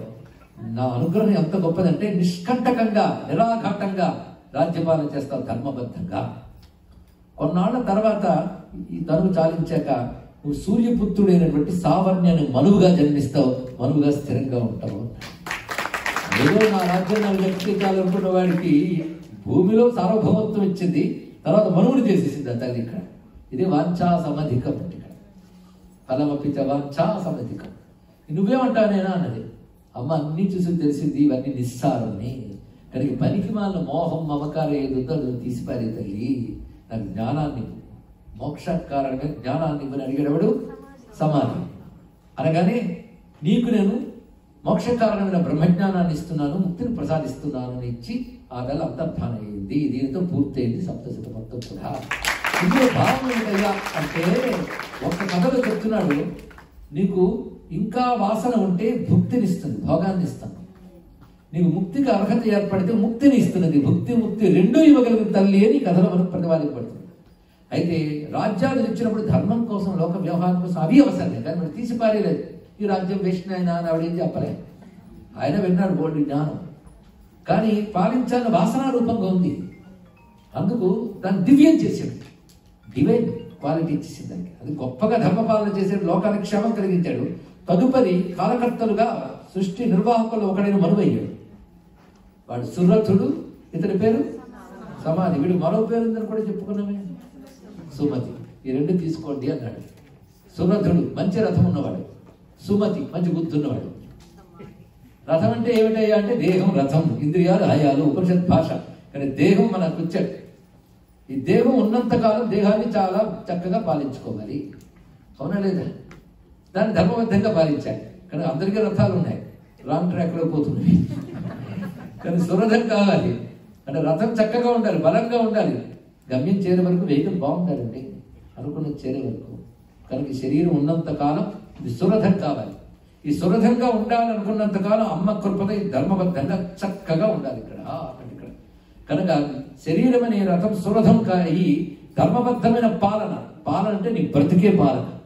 నీ బ్రతుకు నువ్వు బ్రతకడమే నేను నువ్వు పాలించుకోవడం. అది సుపరిపాలన కావాలి ధర్మబద్ధమైన పాలన కావాలి. దానికి శరీరానికి పటుత్వం కావాలి ధర్మనిష్ట కావాలి చక్కటి ఇబ్బంది కలిగించే భావం కూడా కావాలి. ఇవన్నీ సురథానికి అమ్మవారు ఇచ్చారు. కానీ సుమతికి సుమతి అంటే సమాధి. సమాధి స్థితి జ్ఞానపరంగా ఒకటి చెప్పినప్పటికీ సమబుద్ధి సమాధి అన్నాడు ఇక్కడ. ఆ సమబుద్ధి కలిగిన స్థితి ఇచ్చి సుమతి. వాడిది మంచి బుద్ధి. అంటే మంచి ఆలోచన చేస్తూ అసలు అమ్మవారిని ఆశ్రయించడం అనుకోవడమే సుమతి అండి. శరీరంతో ఆరాధించాలనుకోవడమే సులభం. కనుక రథాలు సులభం కావాలి మతి సుమతి కావాలి సమాధి కావాలి. అటువంటప్పుడు ఆ బుద్ధికి మోక్షకారణమైన జ్ఞానాన్ని ఇస్తుంది. ఈ దేహానికి ధర్మబద్ధమైన సుఖవంతమైన జీవనాన్ని ప్రసాదిస్తున్నది. ఇది సురధుడు సమాధి. బుద్ధికి దేహానికి ఇటువంటి ఎరుక ఇవ్వాలంటే సుమేధ ఇవ్వాలి ఎవరిస్తారు? అది గొప్ప మేధ అంటే గొప్ప జ్ఞాన స్వరూపమైన ఆచార్యుడు. అలాంటి ఆచార్యుడిని ఆశ్రయిస్తే శరీరాన్ని సులభం చేస్తాడు బుద్ధిని సుమతి చేస్తాడు ఈ రెండు అవడానికి అమ్మ అనుగ్రహం తెచ్చి ఇస్తాడు ఇక్కడ. మొత్తం ఇది ఇలాంటి రకంగా పారాయణ చేసుకుని ఇప్పుడు మనం సురతలు కావాలి సుమతలు కావాలి రెండు కావాలి ఇక్కడ. బ్రతుకున్నంత కాలం సురతలు బ్రతుకు పరమార్థం తెలుసుకోవడానికి సమాధి. దీని తర్వాత అది కాదు ఇది ఉంటూ ఉంటేనే అది ఇక్కడ. అంత అత్యద్భుతమైన కథ సంకేతాలతో చెప్తూ అమ్మవారి వైభవాన్ని అందించారు. మహిమాన్వితమైనటువంటి ఈ పదమూడు అధ్యాయాల మహాగ్రంథం ఎలా ఉపాసన చేయాలో వ్యాసుడే అక్కడ పన్నెండవ అధ్యాయం వివరించాడు ఆయన. దాన్ని తీసుకుని తర్వాత శాస్త్రములన్నీ వివిధ విధాలుగా మనకి మహా ఋషితుల్యులైన మహోపాసకులు వివిధ పద్ధతులను అందించారు. దాని ప్రకారంగా భారతదేశం అంతా దీన్ని సాధన చేసుకుంటున్నారు అంటే తత్వస్పృహతో కూడినటువంటి సాధన మనకు ఉండాలి. దాన్ని బట్టి ఈ జీవితం సులభమవుతుంది పరమార్థమైన కైవల్యం లభిస్తుంది. అది కలిగించడం కోసం వ్యాస హృదయాన్ని ఆవిష్కరించడం కోసం ఒక అద్భుతమైన ఒక మహాగ్రంథాన్ని ఒక మహాపురాణంలోని ఒక మహాగ్రంథాన్ని మనం తీసుకుని నాలుగు రోజులు అమ్మవారి అనుగ్రహంతో గురువుల దయతో ఈ బుద్ధికి తోచినంత అమ్మ పలికించినంత సహృదయులైన అమ్మస్వరూపులైన మీ అందరి ముందు విన్నవించుకుంటూ తద్రూపంగా చండీయాగం చేసుకున్నాను. నేను నాలుగు రోజులు భావిస్తున్నాను. నేను చేసుకోవడం కాదు మనందరం కూడా చండీయాగం చేసుకున్నాం. ఈ చండీయాగ ఫలం మనల్ని మనమున్న దేశాన్ని మనల్ని కన్న దేశాన్ని ఈ ప్రపంచాన్ని ప్రకృతిని రోగరహితంగా చేసి ఆరోగ్యాన్ని ప్రసాదిస్తూ సద్బుద్ధులు ధార్మిక నిరతి కలిగేలా దీవించాలని అమ్మవారిని ప్రార్థిద్దాం. ఏ ప్రార్థనైనా ఫలవంతం కాగలిగినటువంటి శక్తివంతమైన క్షేత్రంలో మనం ఉన్నాం. అలాంటి క్షేత్రంలో సర్వదేవతాత్మకమైన క్షేత్రంలో ఆ నారాయణీ నారాయణులు వాళ్ళని నమస్కరిస్తూ ఈ అవకాశాన్ని నాకు ఇచ్చినటువంటి న్యూజెర్సీ వాసులకి ప్రధానంగా ఈ కార్యక్రమం నిర్వహించడానికి కారణమైనటువంటి ఆలయ అధికారులకి నిర్వాహకులకి ప్రత్యేకమైన కృతజ్ఞతలు. పైగా మనం ముగ్గురమ్మల గురించి చెప్పుకున్నాం కానీ కార్యక్రమం నలుగురు అమ్మలు పూనుకున్నారండి. రాధ గారు ఉష గారు ప్రభ గారు లక్ష్మి గారు. అమ్మలు. అయితే ఇవన్నీ భద్రపరిచి చక్కగా అందరికీ అందించాలని గురురాజు కృష్ణన్ గారు కోరుకున్నారు. అయితే యూనివర్సిటీ వచ్చి ప్రవచనం చేయాలి ఇక్కడ చెప్పాలి అనడానికి కోరుకునే వాళ్ళు కూడా చెప్పవాలి కదా. చిరంజీవి సౌభాగ్యవతి రాళ్ళపండి లలిత వాడు శ్రీవారు రామప్రేమ్ గారు వాళ్ళకి సాగరికి బృందం ఒక్కొక్కరి పేరు పెట్టి పూర్తవుతుంది ప్రవచనం. ఎంతమంది ఆత్మీయ బృందం ఉన్నారు. ఇంకొకటి విశేషం ఏంటంటే న్యూజెర్సీకి అతిథులు వచ్చారు చాలామంది. అతిథి మర్యాద మనకు ప్రధానం కదా? పై ఊళ్ళ నుంచి ఇక్కడికి వచ్చారండి. రావడమే కాదు ఎక్కడెక్కడో వసతి చేస్తూ ప్రవచనానికి వచ్చిన వాళ్ళు ఉన్నారు. ఒక నార్త్ కెరళ ర్యాలీ నుంచి వచ్చిన వాళ్ళు న్యూ మెక్సికో నుంచి వచ్చినటువంటి వాళ్ళు కెనడా నుంచి వచ్చిన వారు వీరందరూ అమ్మ మీద భక్తితో నాపై ప్రత్యేకమైన అభిమానంతో ఇక్కడికి విచ్చేశారు. ఇట్లా దూర ప్రాంతాల నుంచి వచ్చిన వారు సమీప ప్రాంతాల నుంచి వచ్చిన వారు అందరూ అమ్మ భక్తులమై. అమ్మ కథాయాగంలో పాల్గొని ధన్యులమయ్యాం. అనుగ్రహించిన అమ్మకి మీ అందరిలో ఉన్న అమ్మకి నమస్కరిస్తూ ధన్యవాదాలతో స్వస్తి